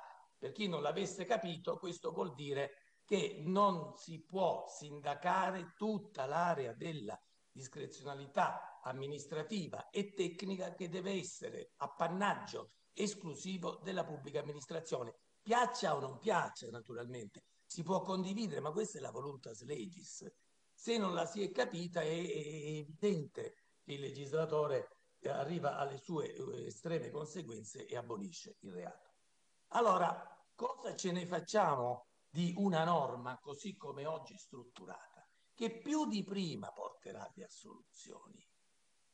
Perché se oggi noi pensiamo che il pubblico ufficiale abusi del suo ufficio e arrechi, procuri vantaggio o arrechi danno, eh, violando semplicemente norme vincolanti, cioè quelle norme che stabiliscono l'anno, il quid e il quomodo, vuol dire che, scusate l'espressione eh, un po' ruvida, non ha capito come funziona, cioè l'esperienza ci dice che gli abusi d'ufficio si annidano nell'ambito, in quella sfera di discrezionalità nell'ambito della quale il pubblico ufficiale eh, come dire, fa delle scelte improprie, eh, distorce il potere per fini privati e non lo fa violando una norma cogente, vincolante, che ripeto eh, eh, gli, gli, gli, gli, impone e stabilisce tempi e contenuto dei suoi atti. Cosa fa- ce ne facciamo di una fattispecie che, che non porta a nessun risultato in termini di efficacia repressiva e comunque induce le procure della Repubblica a iscrivere. Perché come è stato detto, l'ho detto anch'io, ma l'ha detto chi mi ha preceduto, un'iscrizione è doverosa. E allora eh, noi riusciamo contemporaneamente a scontentare, questo è il mio punto di vista, la riforma del 2020 finisce per scontentare sia chi ha a cuore il buon andamento e l'imparzialità della pubblica amministrazione, perché nel momento in cui il giudice penale non può sindacare il merito, o meglio le, le scelte discrezionali, va da sé che non arriva molto lontano. Ma scontenta anche chi oggi ritiene che già l'avvio di un procedimento sia inutile e dannoso, perché anche con questa formulazione l'avvio del procedimento sa da fare. Allora, eh, io eh, dove, dove, vorrei, eh, diciamo, dove vorrei arrivare? Vorrei arrivare a dire che eh, con la riforma del 2020, i cui frutti si stanno già vedendo, perché voglio dire, le assoluzioni arrivano più numerose di prima, e si è lasciata fuori questa uh, l'area della discrezionalità, il che rende il reato di per sé improduttivo. E, e, e come se ne può uscire? A mio avviso se ne può uscire, e mi spiace eh, pensarla diametralmente all'opposto di, della proposta Pella, se ne può uscire semmai abrogando l'abuso di danno ma giammai abrogando l'abuso di vantaggio. L'abuso di danno è quello che statisticamente genera il contenzioso. Normalmente il cittadino si rivolge alla Procura della Repubblica perché ritiene di aver subito un danno. Sono più rare le ipotesi in cui, anzi spesso siamo, sono le altre indagini che ci portano a, a scovare un abuso di vantaggio. Normalmente la, la, statistica ci dice che l'abuso di danno che, che, che, che fa numeri E, e al, ma al di là di questo aspetto che potrebbe essere irrilevante, io credo che l'ordinamento in presenza di un danno eh, inferto da una, cagionato da un atto amministrativo illegittimo abbia una via maestra.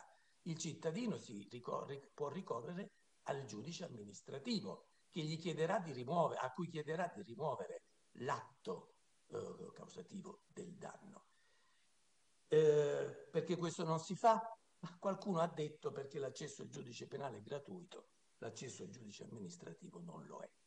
Vorrei però dire, se mai ipoteticamente potessi parlare con quello che ha denunciato alla procura il danno, che la strada eh, che ha intrapreso è poco produttiva perché giammai il pubblico, il, il giudice penale potrà riparare al danno subito. Non rientra nei poteri del giudice penale. Sto per finire, dico soltanto che invece riterrei, eh, riterrei del tutto, diciamo, uh, giuridicamente inaccettabile, eh, o meglio, meno poco comprensibile, la, la, la, l'abolizione anche dell'abuso di vantaggio.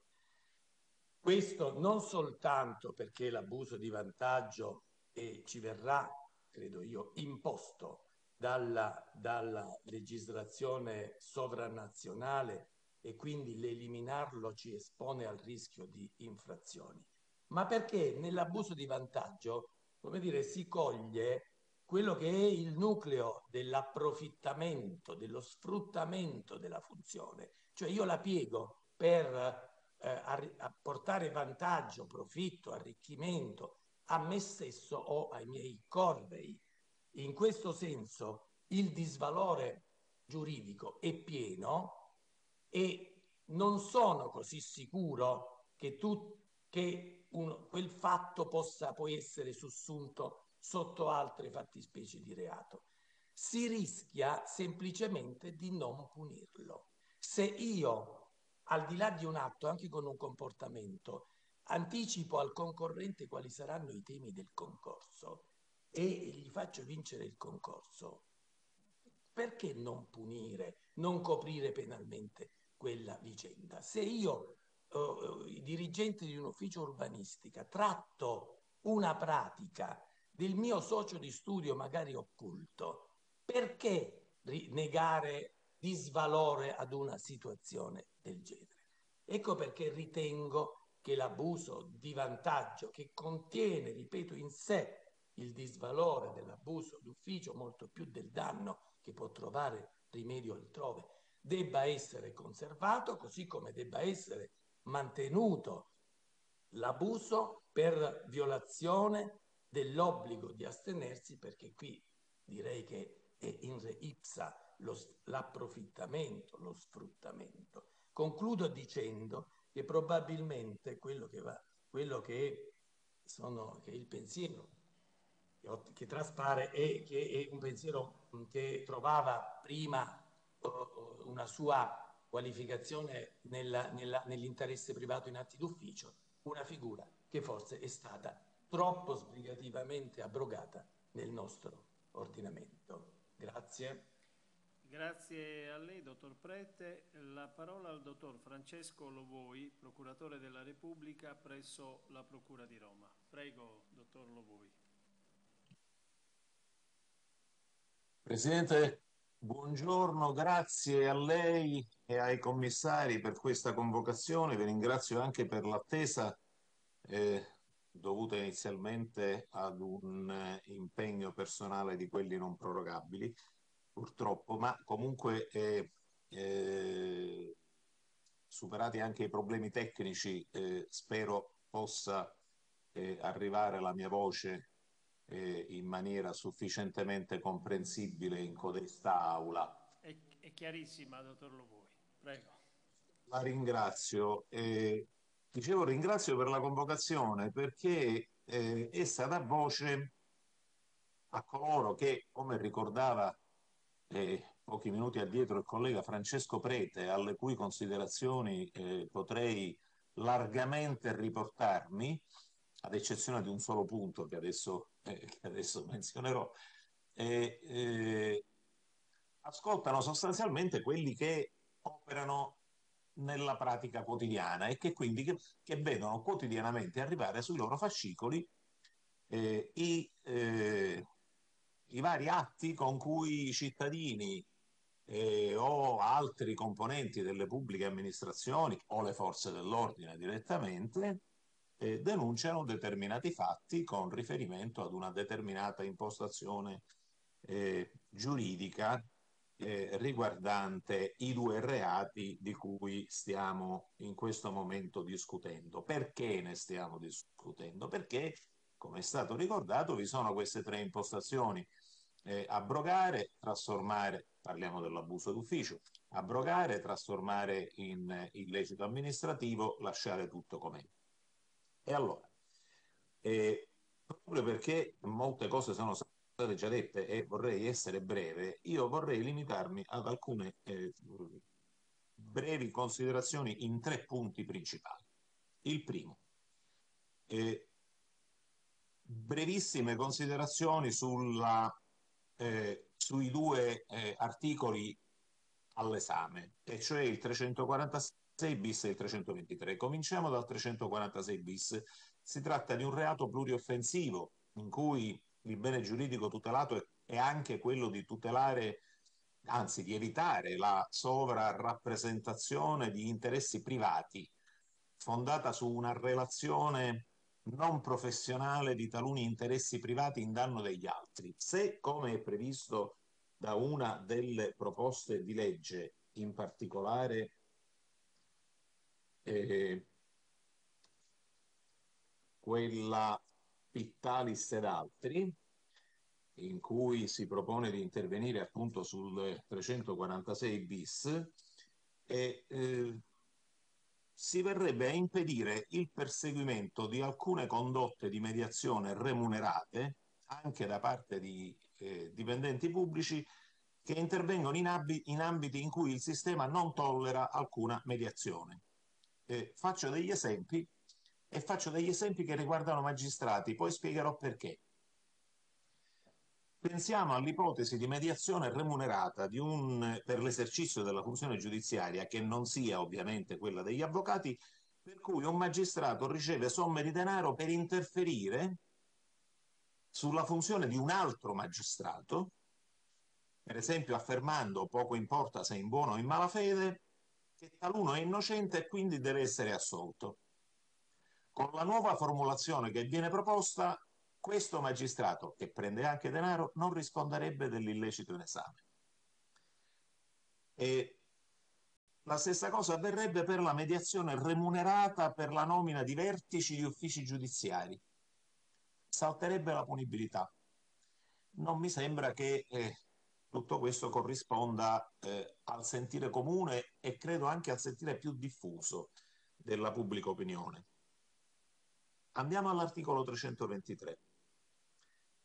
E la sua abolizione lascerebbe priva di protezione penalistica tutta una serie di fattispecie eh, che meriterebbero, eh, ad avviso mio e anche ad avviso dei colleghi dell'ufficio, eh, Roma su questo ha un osservatorio abbastanza particolare perché, insomma, essendo eh, la capitale d'Italia, eh, il centro di tutta una serie di, di, di, di attività, eh, attività eh, amministrative e, e, non solo, eh, e anche finanziarie collegate a quelle amministrative, eh, offre materiale di studio in gran quantità. Pensiamo per esempio all'affidamento diretto sopra soglia che secondo la Corte di Cassazione oggi eh, può costituire abuso d'ufficio ove sussistano i requisiti anche soggettivi e che domani invece resterebbe totalmente privo di tutela penale. O pensiamo, è stato fatto un esempio simile dal, dal collega Prete pochi minuti addietro, all'alterazione dei concorsi pubblici, posto che la truffa o la tentata truffa è difficilmente configurabile col piano teorico, noi abbiamo avuto recentemente un caso in cui un candidato ha trasmesso a un componente della commissione per l'esame di magistrato i segni di riconoscimento del proprio compito, dei propri compiti scritti, in modo tale che il commissario potesse agevolarlo eh, nella valutazione degli stessi temi. Ebbene, se noi non avessimo avuto il reato di abuso d'ufficio, che peraltro abbiamo contestato nella forma del tentativo perché per fortuna siamo riusciti a scoprire questo reato in tempo e quindi ad impedirne la, la, la, la completa commissione, evidentemente, se non avessimo avuto il reato di abuso d'ufficio, questa condotta, che a me pare sinceramente grave, non solo perché si riferiva al concorso in magistratura, ma perché si riferiva comunque a un concorso pubblico, ebbene, questa condotta sarebbe rimasta totalmente priva di tutela penale. Sempre sul 346 bis, se mi è consentito ancora, eh, l'utilità esclusivamente patrimoniale, anche qui è stato ricordato, eh, generalmente questa specificazione della patrimonialità non è presente in alcuna di queste norme che riguardano la tutela dei reati contro la pubblica amministrazione.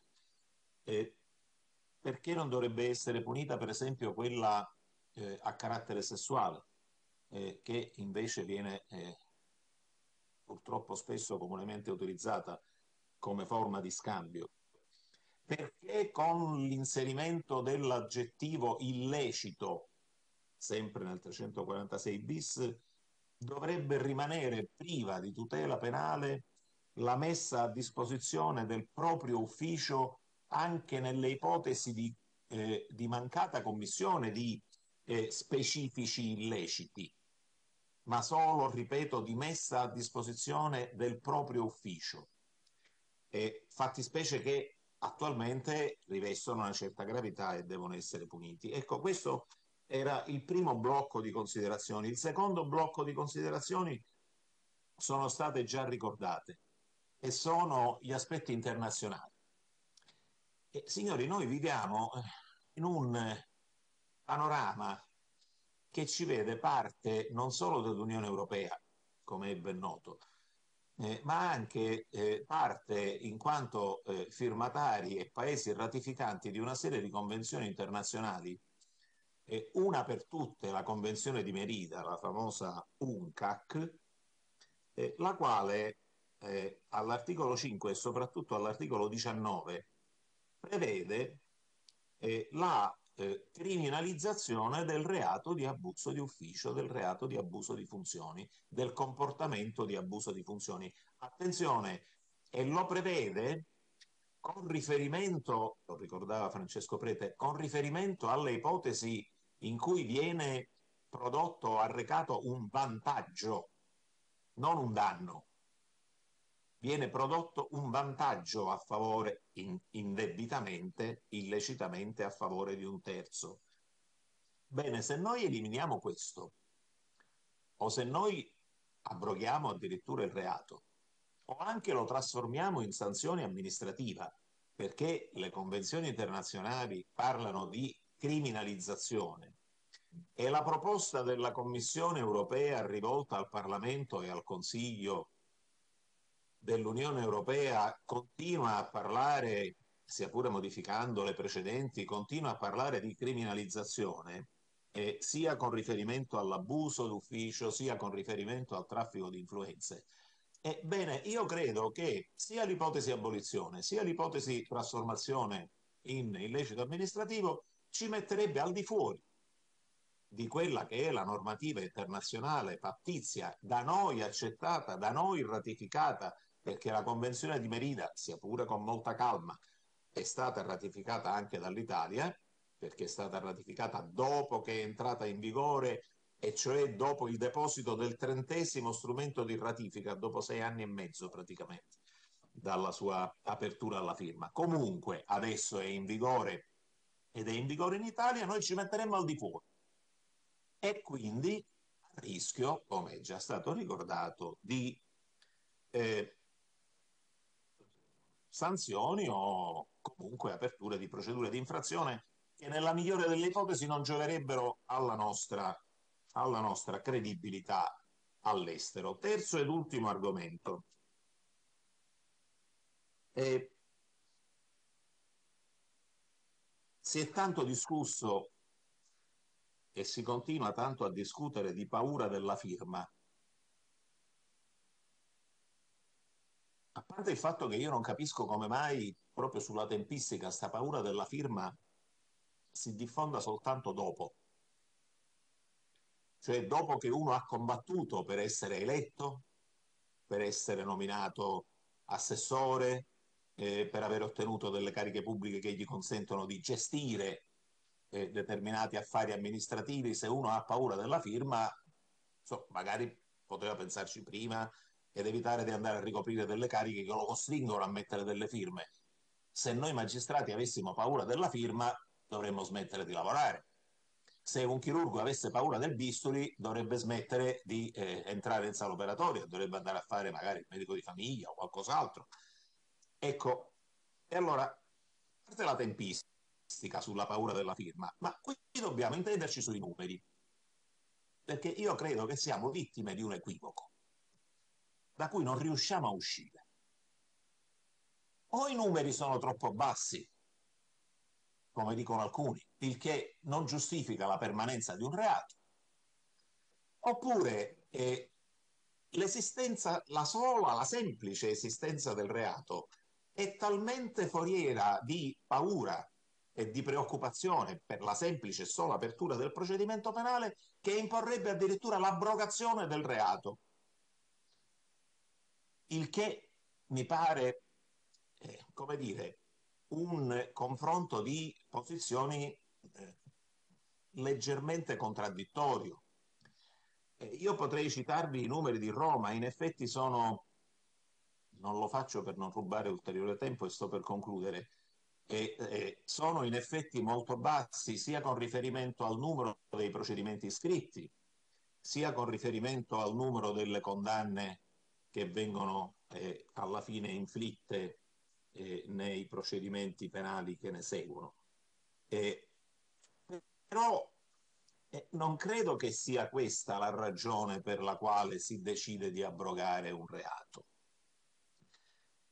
Intanto vorrei fare presente, ecco perché facevo quei riferimenti al giudiziario all'inizio, che la grande maggioranza dei procedimenti, parlo della Procura di Roma, eh, gruppo di lavoro pubblica amministrazione, eh, la maggior parte dei procedimenti iscritti a modello 21, cioè notizie di reato, riguarda magistrati.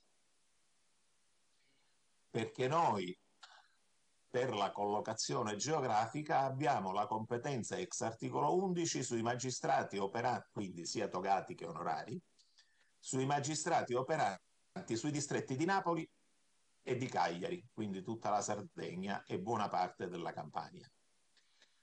E siccome evidentemente chiunque perde una causa o riceve un'ordinanza sfavorevole, immediatamente ritiene che il magistrato nella migliore delle ipotesi sia un cretino che non ha capito niente, nella peggiore sia un corrotto o sia ignorante e quindi debba essere punito per abuso, noi riceviamo decine e decine e decine di denunce che, come ricordava Francesco Prete, in quanto nominative devono essere iscritte nel registro degli indagati ma la stragrande maggioranza che riceviamo riguardano magistrati, tanto perché, tanto perché si sappia. Bene, abroghiamo il reato perché è inutile.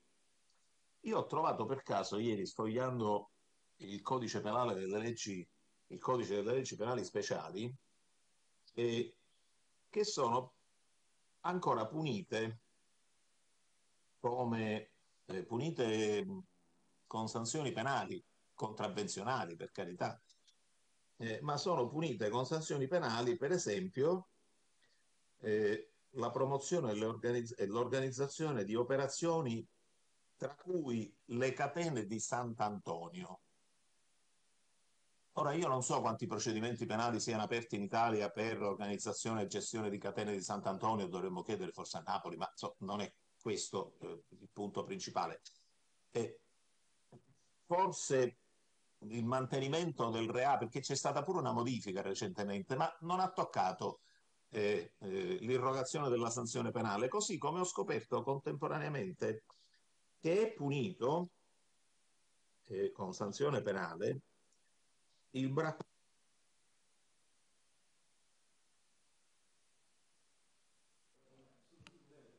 Dottor Lovoi, non la sentiamo, non la sentiamo.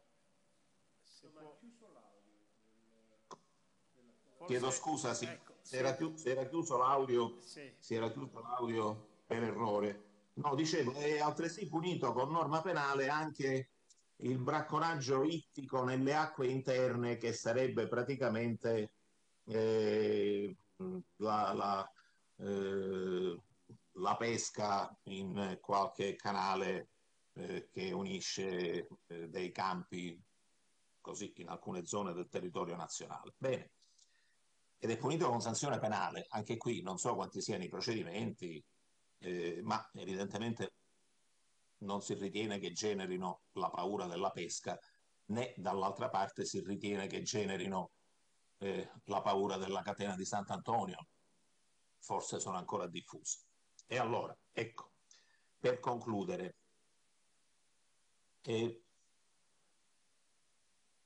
forse anch'io per l'età che pure è ben superiore a quella del collega Francesco Prete, che continua a rimpiangere il vecchio articolo 324, e cioè l'interesse privato in atti d'ufficio, che eh, nella eh, semplice interpretazione che ne aveva dato la giurisprudenza eh, lasciava a casi ma davvero residuali quelli anche allora previsti dall'articolo 323 e da un 323 molto più ampio rispetto a quello attuale che è estremamente definito.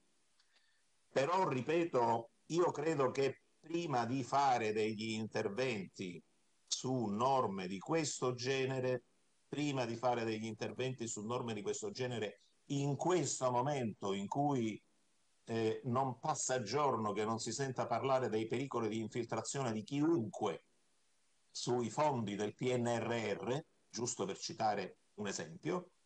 Ecco, prima di intervenire su queste materie, eh, ed è il motivo per cui davvero eh, vi ringrazio per averci offerto questa opportunità eh, a chi appunto quotidianamente vede queste carte, io credo che dovremmo eh, forse un attimo meglio approfondire eh, le possibili conseguenze, il possibile impatto che eventuali eh, mutamenti potrebbero avere all'interno della nostra legislazione nazionale, ma soprattutto anche eh, in un momento particolarmente difficile nel panorama internazionale, non solo europeo, con cui ci stiamo confrontando. Grazie. Grazie a lei, dottor Lovoi chiedo se vi sono deputati che intendano intervenire. Ha chiesto sì. l'onorevole Federico Cafiero De Rao, al quale do la parola. Prego. Grazie Presidente. Eh, innanzitutto grazie ai procuratori della Repubblica, al procuratore aggiunto, al sostituto procuratore generale che sono intervenuti per dare ciascuno di essi una panoramica particolarmente precisa delle valutazioni che appunto hanno espresso in relazione alle proposte di legge. Eh, ricordiamo che proprio il 4 maggio la proposta di, direttiva europea eh, prevede l'armonizzazione la dei reati di corruzione, di quelli legati alla corruzione, tra cui appunto l'abuso d'ufficio, il traffico di influenza, l'ostruzione della giustizia, l'arricchimento illecito in connessione ai reati di corruzione e la concussione. E, eh, faccio questa premessa proprio perché la prima domanda è ma da queste proposte di legge ne ricavate quindi un indebolimento al contrasto al sistema della corruzione e poi prendendo spunto anche dalla considerazione che ha rappresentato il procuratore di Palermo, eh, Maurizio De Lucia, con riferimento ai reati spia delle infiltrazioni mafiose. Anche gli altri procuratori ritengono l'abuso d'ufficio comunque un reato spia, un reato che consente di effettuare ulteriori approfondimenti che a volte si riversano proprio sui condizionamenti, sull'infiltrazione mafiosa. Questa è la prima domanda. E la seconda, ma eh, vi è stata una riduzione dei procedimenti penali per abuso d'ufficio con la riforma del 2020. E, ehm, il procuratore eh, Prete faceva riferimento alle numerose assoluzioni che eh, ci sono state per questo reato, fermo restando che è noto e abbiamo peraltro acquisito i dati, ma le assoluzioni del 2021-2022 si riferiscono ai procedimenti che sono stati iscritti dopo la riforma del 2020? Questa è l'ulteriore domanda, vale a dire sono in grado di riferire qual è, il, qual è stata la ricaduta sul numero dei procedimenti eh, della riforma del 2020, laddove è stata iscritta nuovamente in modo eh, particolarmente precisa la fattispecie. E ancora, i procuratori della Repubblica hanno in corso dei protocolli con la Procura eh, della Corte dei Conti in relazione proprio a quelli che sono gli effetti delle iscrizioni per procedimenti penali o dei rinvii a giudizio per i reati contro la pubblica amministrazione e in particolare per il reato d'abuso d'ufficio. E, eh, un'ultima eh, domanda.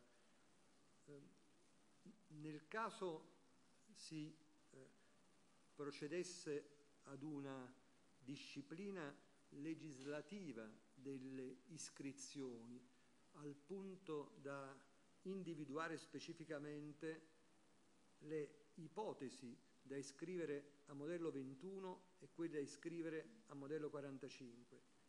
Essi vedrebbero favorevolmente una ipotesi di questo tipo o la vedrebbero invece come una sorta di restrizione a quella discrezionalità che il pubblico ministero deve invece solitamente avere nello svolgimento della propria attività, poiché in relazione proprio a questo punto vi è stato chi ha ritenuto che la eh, elasticità proprio sulla individuazione dei fatti da iscrivere a modello 45 o modello 21 determina il più delle volte un'iscrizione a modello 21 proprio per poi non incorrere lo stesso pubblico ministero in una denuncia per articolo 323 laddove debba quasi tutelare il fatto e i soggetti attraverso un'iscrizione segreta quale è quella di quell'articolo 45 nel caso in cui il fatto di per sé si manifesta irrilevante ma che pur tuttavia potrebbe avere anche una ricaduta in relazione all'articolo 323. Ecco, io porrei queste domande, Presidente. Grazie. Grazie a lei, collega De Rao. Eh, chiedo se vi sono altri colleghi che intendano intervenire. Non vedo nessuno iscritto, quindi io darei eh, la parola nell'ordine, come eh, abbiamo avviato queste audizioni, alla dottoressa Tiziana eh, Siciliano. Logicamente io eh, eh, chiamo per ordine, ma mm, se ritenete di intervenire, eh, ovviamente. Quindi prego, dottoressa Siciliano. Sì, sì, eh, sarò telegrafica così come ho dimostrato prima. Allora, certamente eh, la, l'abrogazione del 323 da noi viene vista, dico noi perché mi sono consultata con il mio dipartimento ovviamente prima di questa audizione viene vista come un indeboli- indebolimento, nel senso che ci viene tolto uno strumento comunque residuale, modesto, ma comunque eh, capace di fornire un contrasto in fattispecie che possono essere magari un po' costruite con le indagini, ma eh, che eh, si, si, presentano come, come, evidenti e meritevoli di, di considerazione. Sulle iscrizioni, eh, modello 45 e modello 21, eh, allora, a parte che l'entrata in vigore della riforma Cartabia, secondo me, ci mette di fronte anche a una situazione ben differente da prima, dove c'era una, se vogliamo, discrezionalità, un'elasticità un pochino maggiore. Adesso con la retrodatazione dell'iscrizione al momento in cui il soggetto avrebbe dovuto essere ritenuto eh, comunque oggetto di indagini, impone da subito una valutazione molto più stringente. Quindi l'iscrizione modello 21, che già mi sembra piuttosto ben disciplinata, diventa ancora più, come dire, ob- obbligatoria con tutti i, i guasti che sono stati indicati. Ma ricordiamoci una cosa, a parte, voglio dire, con iscrizione al modello 45 consente delle indagini, ma in misura sicuramente attenuata rispetto alle indagini, rispetto a un fascicolo iscritto, eh, iscritto a noti. Noi abbiamo dimenticato eh, una serie, perché è vero, si, iscri- si archivia e ci sono iscrizioni che poi non portano a nulla e non portano a nulla, ma in moltissimi casi l'iscrizione del, del, dell'abuso d'ufficio non è non vuol dire la cessazione del fascicolo, significa che con quelle indagini che sono state eh, indotte da, da, da, una denuncia, da un esposto e che hanno all'inizio eh, con una prudenziale valutazione meritato un'iscrizione per 323, poi magari conseguono l'archivazione del 323 dell'abuso, ma proseguono per ben altri e più seri reati. Cioè mi è capitato di partire con un'ipotesi 323 e scoprire poi dei reati di corruzione, per esempio. Quindi quando noi diciamo sì, ma il 323 non porta mai a niente, sì, non porta niente il 323 se guardiamo solo lui, ma può portare anche ad altro. Cioè, quindi anche come non certo reato spia, ma come reato di, di prima valutazione su determinate condotte, è uno strumento importante. Telegrafica, come avevo promesso. Grazie, dottoressa Siciliano. Eh, la parola al dottor Bruno Cherchi. Prego. Ah, non è in collegamento, è già... Eh, la parola al dottor Maurizio De Lucia. Il microfono, dottor De Lucia, non la sentiamo. Eccomi. Molto rapidamente. Il tema della notizia di reato è, è, è, il tema dei temi perché eh, se noi iscriviamo immediatamente, in questo momento legge Cartabia alla mano, noi siamo sostanzialmente costretti a iscrivere immediatamente la notizia di reato, la semplice iscrizione non è vero che non è eh, portatrice di una serie di disagi per il soggetto indagato. Anche se la legge ci dice che non è così, in realtà è così. È un po' per quello che dicevo, la comunicazione del fatto che un soggetto indagato apre a una eh, sorta di aggressione, di speculazione di quello che si vuole, esterna al processo penale, ma che dipende dal processo penale. Della definizione della notizia di reato si parla dal 1930, cioè del codice Rocco, e ancora, diciamo così, non c'è certezza, ma l'orientamento eh, attuale, io lo vedo in particolare nei miei sostituti, nel dubbio si iscrive, cioè mentre nel dubbio prima non si iscriveva, adesso nel dubbio si iscrive perché intanto c'è un potere di retrodatazione attribuito al giudice in relazione all'iscrizione della notizia di reato. Poi c'è un problema di azione di responsabilità nei confronti del magistrato che omettendo eh, incappa lui nel 323 quindi auspica l'abrogazione o nel 328. Dunque l'orientamento sarà sempre più verso la iscrizione delle notizie di reato nel registro modello 21 che soddisfa una serie di esigenze che tutto sono tranne quelle utili per il processo, perché ripeto, il denunciante avrà la soddisfazione di poter dire che la sua denuncia segue un certo corso e che quindi anticipa lui il giudizio, nel senso che la semplice iscrizione è già sentenza per alcuni, come siamo abituati talvolta a leggere. Ecco, quindi il, il tema è un tema secondo me centrale, la possibilità di arrivare a una definizione eh, come dire, ultimativa della notizia di reato, a mio avviso non c'è, seguiremo l'evolversi della giurisprudenza che via via ci dirà quali sono i parametri a cui attenerci, ma è chiaro che in questo momento l'orientamento sarà ad ampliare eh, l'iscrizione. E, ehm, l'abrogazione è chiaro che comunque comporta un indebolimento della eh, difesa di beni che hanno valore costituzionale, sono i principi di buon andamento e di imparzialità della pubblica amministrazione, sono scritti nell'articolo 97 della Costituzione, ce lo richiamo al 117 per quanto riguarda il tema delle fonti europee che, come ricordava Francesco Lovoi, ci impongono attenzione e in qualche modo ci obbligano a stare molto attenti in materia di modifiche eh, dei reati contro la pubblica amministrazione e ci impone eh, una particolare attenzione anche per un problema di affidabilità del Paese in, in, in relazione ai mercati, cioè gli investitori vengono dove sanno che c'è meno corruzione. Se eh, non è un grande segnale eh, abrogare un 323 che comunque all'esito di quanto abbiamo detto non comporta gravissimi, eh, cioè non abbiamo questa marea di processi per 323, abbiamo una marea di procedimenti per 323, ma le ragioni le abbiamo chiarite.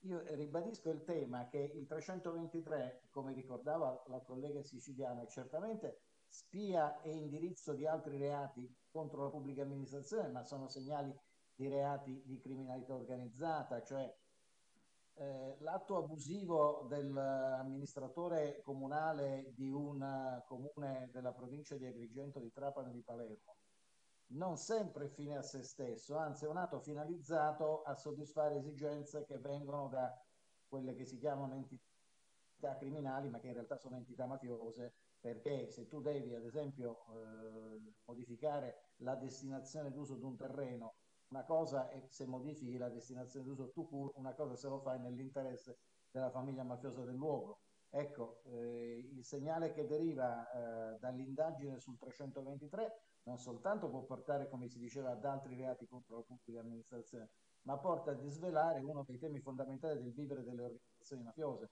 cioè la capacità di infiltrarsi e di stare nello stesso territorio delle pubbliche amministrazioni, entrando nelle pubbliche amministrazioni. In questo senso questa norma a noi serve, sia pure nelle forme eh, più ristrette di cui attualmente la riforma 2020 ha imposto e anche tenendo conto di quello che è stato detto sul 324, che effettivamente è una norma che imporrebbe una nuova riflessione e consentirebbe probabilmente un recupero di legalità rispetto a questo settore. Ecco, io mi fermerei a queste considerazioni. Grazie.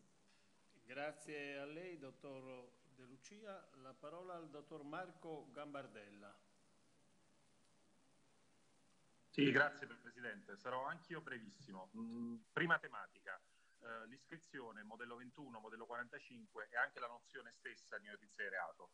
Eh, ci tengo a sottolineare che di recente eh, vi è stata una prima indicazione normativa e precisazione di che cos'è una notizia di reato. Mi riferisco alla eh, modifica introdotte proprio alla riforma cosiddetta Cartabia, che hanno modificato il primo comma, che ha modificato il primo comma dell'articolo 335, prevedendo comunque una primissima indicazione per notizia di reato, eh, cito testualmente, contenente la rappresentazione di un fatto determinato e non inverosimile, riconducibile in ipotesi a una fattispecie incriminatrice. Quindi vi è stata comunque una prima indicazione recentissima su cosa debba essere qualificato in termini di notizia di reato. Per quanto riguarda l'immediatezza dell'iscrizione, immediatezza che è prevista espressamente dall'articolo 335, che c'è un avverbio immediatamente, cioè il pubblico ministero non ha una, un potere iscrizionale sul punto. Se vi è una notizia di reato, ovvero un fatto determinato, non inverosimile e riconducibile in astratto a notizia di reato, il pubblico ministero deve procedere alla descrizione. Sempre la riforma Cartabia ha preso espressamente l'articolo 335 bis che l'iscrizione di per sé non possa determinare degli effetti pregiudizievoli né sul piano civile né sul piano amministrativo, è vero, un'ipotesi astratta, poi in concreto la, um, la mera iscrizione, soprattutto per l'utilizzo strumentale che spesso si fa dell'iscrizione, sia mediaticamente che anche, eh, spiace dirlo, politicamente, determina comunque degli effetti pregiudizievoli però le procure della Repubblica si attengono al dato normativo, non possono interessarsi di quelli che sono, a mio avviso, i, le problematiche comunicative o di strumentalizzazione eventuale politica. Eh, sicuramente l'abrogazione della, eh, dell'abuso d'ufficio determinerebbe un voto di tutela. Ho cercato di spiegarlo nel mio brevissimo intervento ed è verissimo che tutti i procedimenti, quello che è la mia esperienza, sia pur non lunghissima, in, mi sono occupato prevalentemente di reati contro pubblica amministrazione, nascono con un'iscrizione per 323, eh, semplicissima, l'ipotesi è grosso modo sempre la stessa, esposto di un cittadino o di un amministratore pubblico denuncia una serie di violazioni gravi di legge, si apre un fascicolo per verificare se oltre alle violazioni gravi di legge, comunque da, da accertare, vi, sia siano stati ulteriori profili di dolore intenzionale, la volontà di procurare un giusto vantaggio e si apre un'indagine doverosa. Dopodiché si perviene quasi sempre, ma direi davvero sempre, a ulteriori ipotesi di reato, quale il falso ideologico in atto pubblico o addirittura fattispecie corruttive più gravi, ma è sempre quella l'incipit, diciamo, l'attività di indagine maggiormente gravi. È difficilissimo che arrivi, anche per come è strutturata, ehm, sono strutturate le fattispecie, di fattispecie a concorso necessario, che ci arrivi ehm, sempre o comunque una, una notizia di reato per corruzione. È molto raro, si parte quasi sempre da quello che è l'ipotesi dell'abuso d'ufficio, abrogarlo determinerebbe un voto di tutela, a mio avviso, davvero difficilmente colmabile. Grazie. Grazie a lei. E... Dottor Francesco Prette, prego.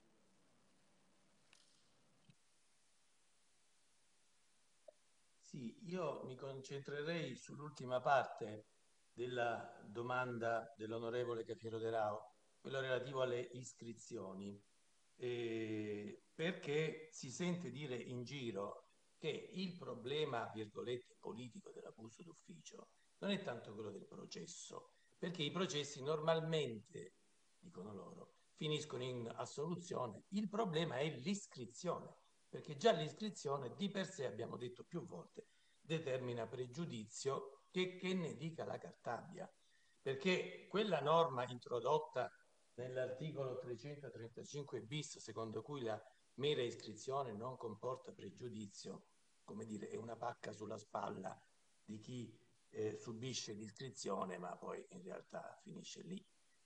E allora concentriamoci forse un po' di più sull'iscrizione. Dicendo questo, la Cartabia, e lo, e, e, e lo, si vede anche da questa disposizione che ho appena citato, vorrebbe restringere l'area della iscrivibilità delle notizie. Tant'è che oggi introduce 3-4 paletti, fatto determinato, non inverosimile, as, eh, ascrivibile ad una fattispecie di reato, non ascrivibile, eh, riconducibile ad una fattispecie di reato e poi si iscrive la, il nominativo della persona quando vi sono degli indizi a suo carico. Normalmente una denuncia di un cittadino contro un pubblico funzionario contiene questi elementi, per cui si è detto da tutti l'iscrizione è doverosa. Quello che non trovo nel dibattito e un'attenzione sufficiente all'iscrizione a modello 45. Dico che il modello 45 paradossalmente è una delle cose che usiamo quotidianamente, delle cose che ci è più familiare e tuttavia non è un, un, qualcosa previsto dal codice di procedura penale. Lo, lo ritroviamo relegato nelle norme regolamentari del codice, ma non è un istituto eh, disciplinato dal codice di procedura penale, o meglio non è un istituto, è una previsione di, di iscrizione in un registro che non sia delle notizie di reato. Eh, ho letto e condivido la necessità che venga giurisdizionalizzata l'iscrizione a modello 45, perché, come è stato ricordato, Oggi succede che se il cittadino denuncia un funzionario e poi il pubblico ministero lo iscrive al 45 e lo autoarchivia, succede che quel cittadino denuncia il pubblico ministero. Ora, eh, perché non giurisdizionalizzare il 45? C'è stata in passato una giurisprudenza che ha ritenuto abnorme il provvedimento con il quale il GIP, ricevuta dal pubblico ministero una richiesta di iscrizione al modello 45, abbia ritenuto di non doversene occupare perché i 45 devono essere, virgolette, cestinati. In realtà si potrebbe pensare, ma qui davvero che ci vuole un, un intervento legislativo che giurisdizionalizzi questa, questa situazione, si potrebbe pensare ad un vaglio del giudice anche sulle notizie che il pubblico ministero ritiene di iscrivere in questo famoso eh, registro dei fatti non costituenti reato. Si dirà che così eh, eh, moltiplichiamo all'infinito il lavoro. In realtà si potrebbe pensare ad una vaglio inaudita altera parte, quindi eh, neanche in Camera di Consiglio, ma comunque un vaglio da parte del giudice che valuta anzitutto se sia corretta l'iscrizione del pubblico ministero in quel modello 45. In secondo luogo, se davvero sia da archiviare quel caso oppure non abbia ragione in ipotesi denunciante che eh, ha ben individuato una notizia, quindi un fatto sul quale eh, l'iscrizione debba essere fatta non a 45 ma a 21. Quindi se potessi teoricamente, ipoteticamente, richiamare l'attenzione della Commissione a concentrarsi non tanto sul merito del reato, non tanto su quella che è la fattispecie del 323, ma a regolamentare le sue iscrizioni, perché, ripeto, la uh, gran parte delle polemiche, delle critiche attiene non al reato in sé, ma alla sua iscrizione. Poniamo magari mano a, a, a, alle regole dell'iscrizione, giurisdizionalizziamo il 45 e credo che saremmo più contenti.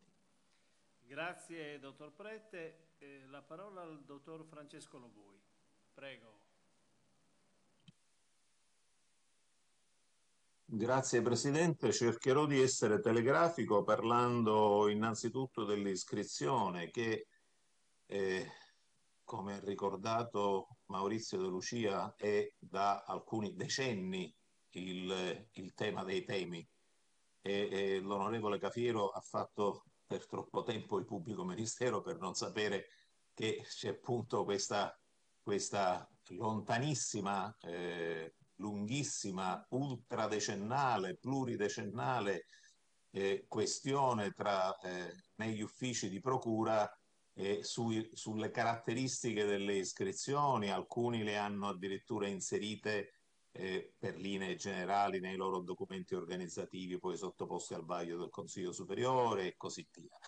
Eh, il collega Prete faceva una, ehm, una, proposta che in qualche misura in, in, alcuni uffici giudiziari è stata praticata, cioè la sottoposizione eh, al giudice per le indagini preliminari dell'archiviazione del procedimento iscritto a modello 45 e tuttavia io temo che questo non arrivi a risolvere il problema che era stato già segnalato circa il fatto che la parte privata che si vede eh, non iscritto a modello 21, quindi avete visto ci sono riuscito, come si ricordava pure prima, ma iscritto a modello 45, eh, un proced- una sua denuncia e quindi la veda fatta oggetto di archiviazione, sia essa eh, autoarchiviazione o sia essa tramite il GIP, eh, non tolga, di, dicevo, il rischio molto concreto della conseguente denuncia nei confronti del PM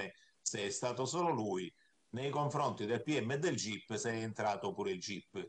E non vorrei essere pessimista, eh, ma credo che una regolamentazione leggi- anche legislativa del, eh, dell'iscrizione a modello 45 e o a modello 21 non toglierebbe questo problema, così come stiamo verificando dall'esperienza quotidiana, non è stato tolto dalla riforma cosiddetta Cartabia che continua a porci sostanzialmente lo stesso problema perché il, la, la, l'individuazione delle caratteristiche per l'iscrizione a modello 21, che adesso sono eh, molto più strette, molto più precise, ma contemporaneamente rappresentano eh, quasi un obbligo in più ad iscrivere per i motivi che sono stati detti e su cui stati detti e su cui non ritorno, eh, è evidente che creano ulteriori difficoltà in questo senso. Quindi aggiungere ai temi da trattare 323 e 346 bis anche il tema regolamentazione giuridica dell'iscrizione eh, ho paura che porti, porterebbe ad un'irreggimentazione un po' eccessiva dell'attività del pubblico ministero che da sempre è stata considerata eh, pro, eh, propria dell'attività inquirente del, dell'ufficio di procura, cioè eh, la selezione della notizia di reato e l'individuazione dell'iscrizione. Sull'indebolimento è indubbio che rappresenti un indebolimento l'eliminazione di alcuni reati, ma non perché siano spia o perché non lo siano, ma perché, per esempio, perché è meglio capirci con gli esempi. E Maurizio De Lucia citava un caso.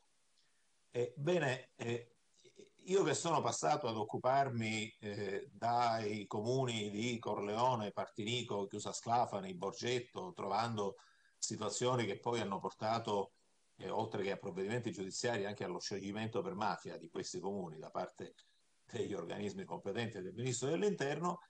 E mi sono sorpreso, devo dire non poco, quando eh, arrivato a Roma mi sono trovato che eh, in provincia di Roma eh, si è arrivati allo scioglimento di alcuni comuni molto più grossi eh, perché le commissioni ispettive avevano trovato una serie di comportamenti che erano esattamente sovrapponibili a quelli che io avevo visto a Corleone, a Chiusa Sclafani, a Partenico e a Borgetto. E cioè una serie di favoritismi che se oggi abolissimo l'abuso d'ufficio scomparirebbero come reato, probabilmente resterebbero tutte le altre misure che possono continuare a essere prese, per carità, ma scomparirebbero come reato per i motivi che abbiamo già esposto e che quindi, al di là che si tratti di reati spia, di eh, reati contro la pubblica amministrazione più gravi, e al di là che si tratti di reati spia oppure reati tipici, in qualche caso io direi addirittura reati fine tipici della, delle associazioni criminali di tipo mafioso, cioè il condizionamento delle pubbliche amministrazioni perché a quello tendono le organizzazioni di tipo mafioso non solo in Sicilia, in tutta Italia. Ebbene, l'indebolimento credo che sia nei fatti. Grazie. Eh, grazie ai nostri ospiti, eh, ringraziamo anche il procuratore distrettuale della Repubblica di Brescia per il contributo scritto che ha fatto pervenire alla uh, Commissione. Quindi ringrazio per il contributo fornito ai lavori e mm, saluto il, la signora dottoressa Siciliano e i signori eh, procuratori della Repubblica. Eh, e dunque eh, ci saranno altre occasioni per approfondire altri temi eh, sulla giustizia che sono oh, oggetto, mh, mm, oltre all'abuso d'ufficio, e al traffico di influenze illecite in attesa anche di un provvedimento che dovrebbe arrivare dal eh, governo, dal Ministro della Giustizia. Quindi eh, grazie veramente per il vostro contributo. Buona giornata. La seduta è tolta. Buona giornata. Grazie a voi. Buona giornata e grazie.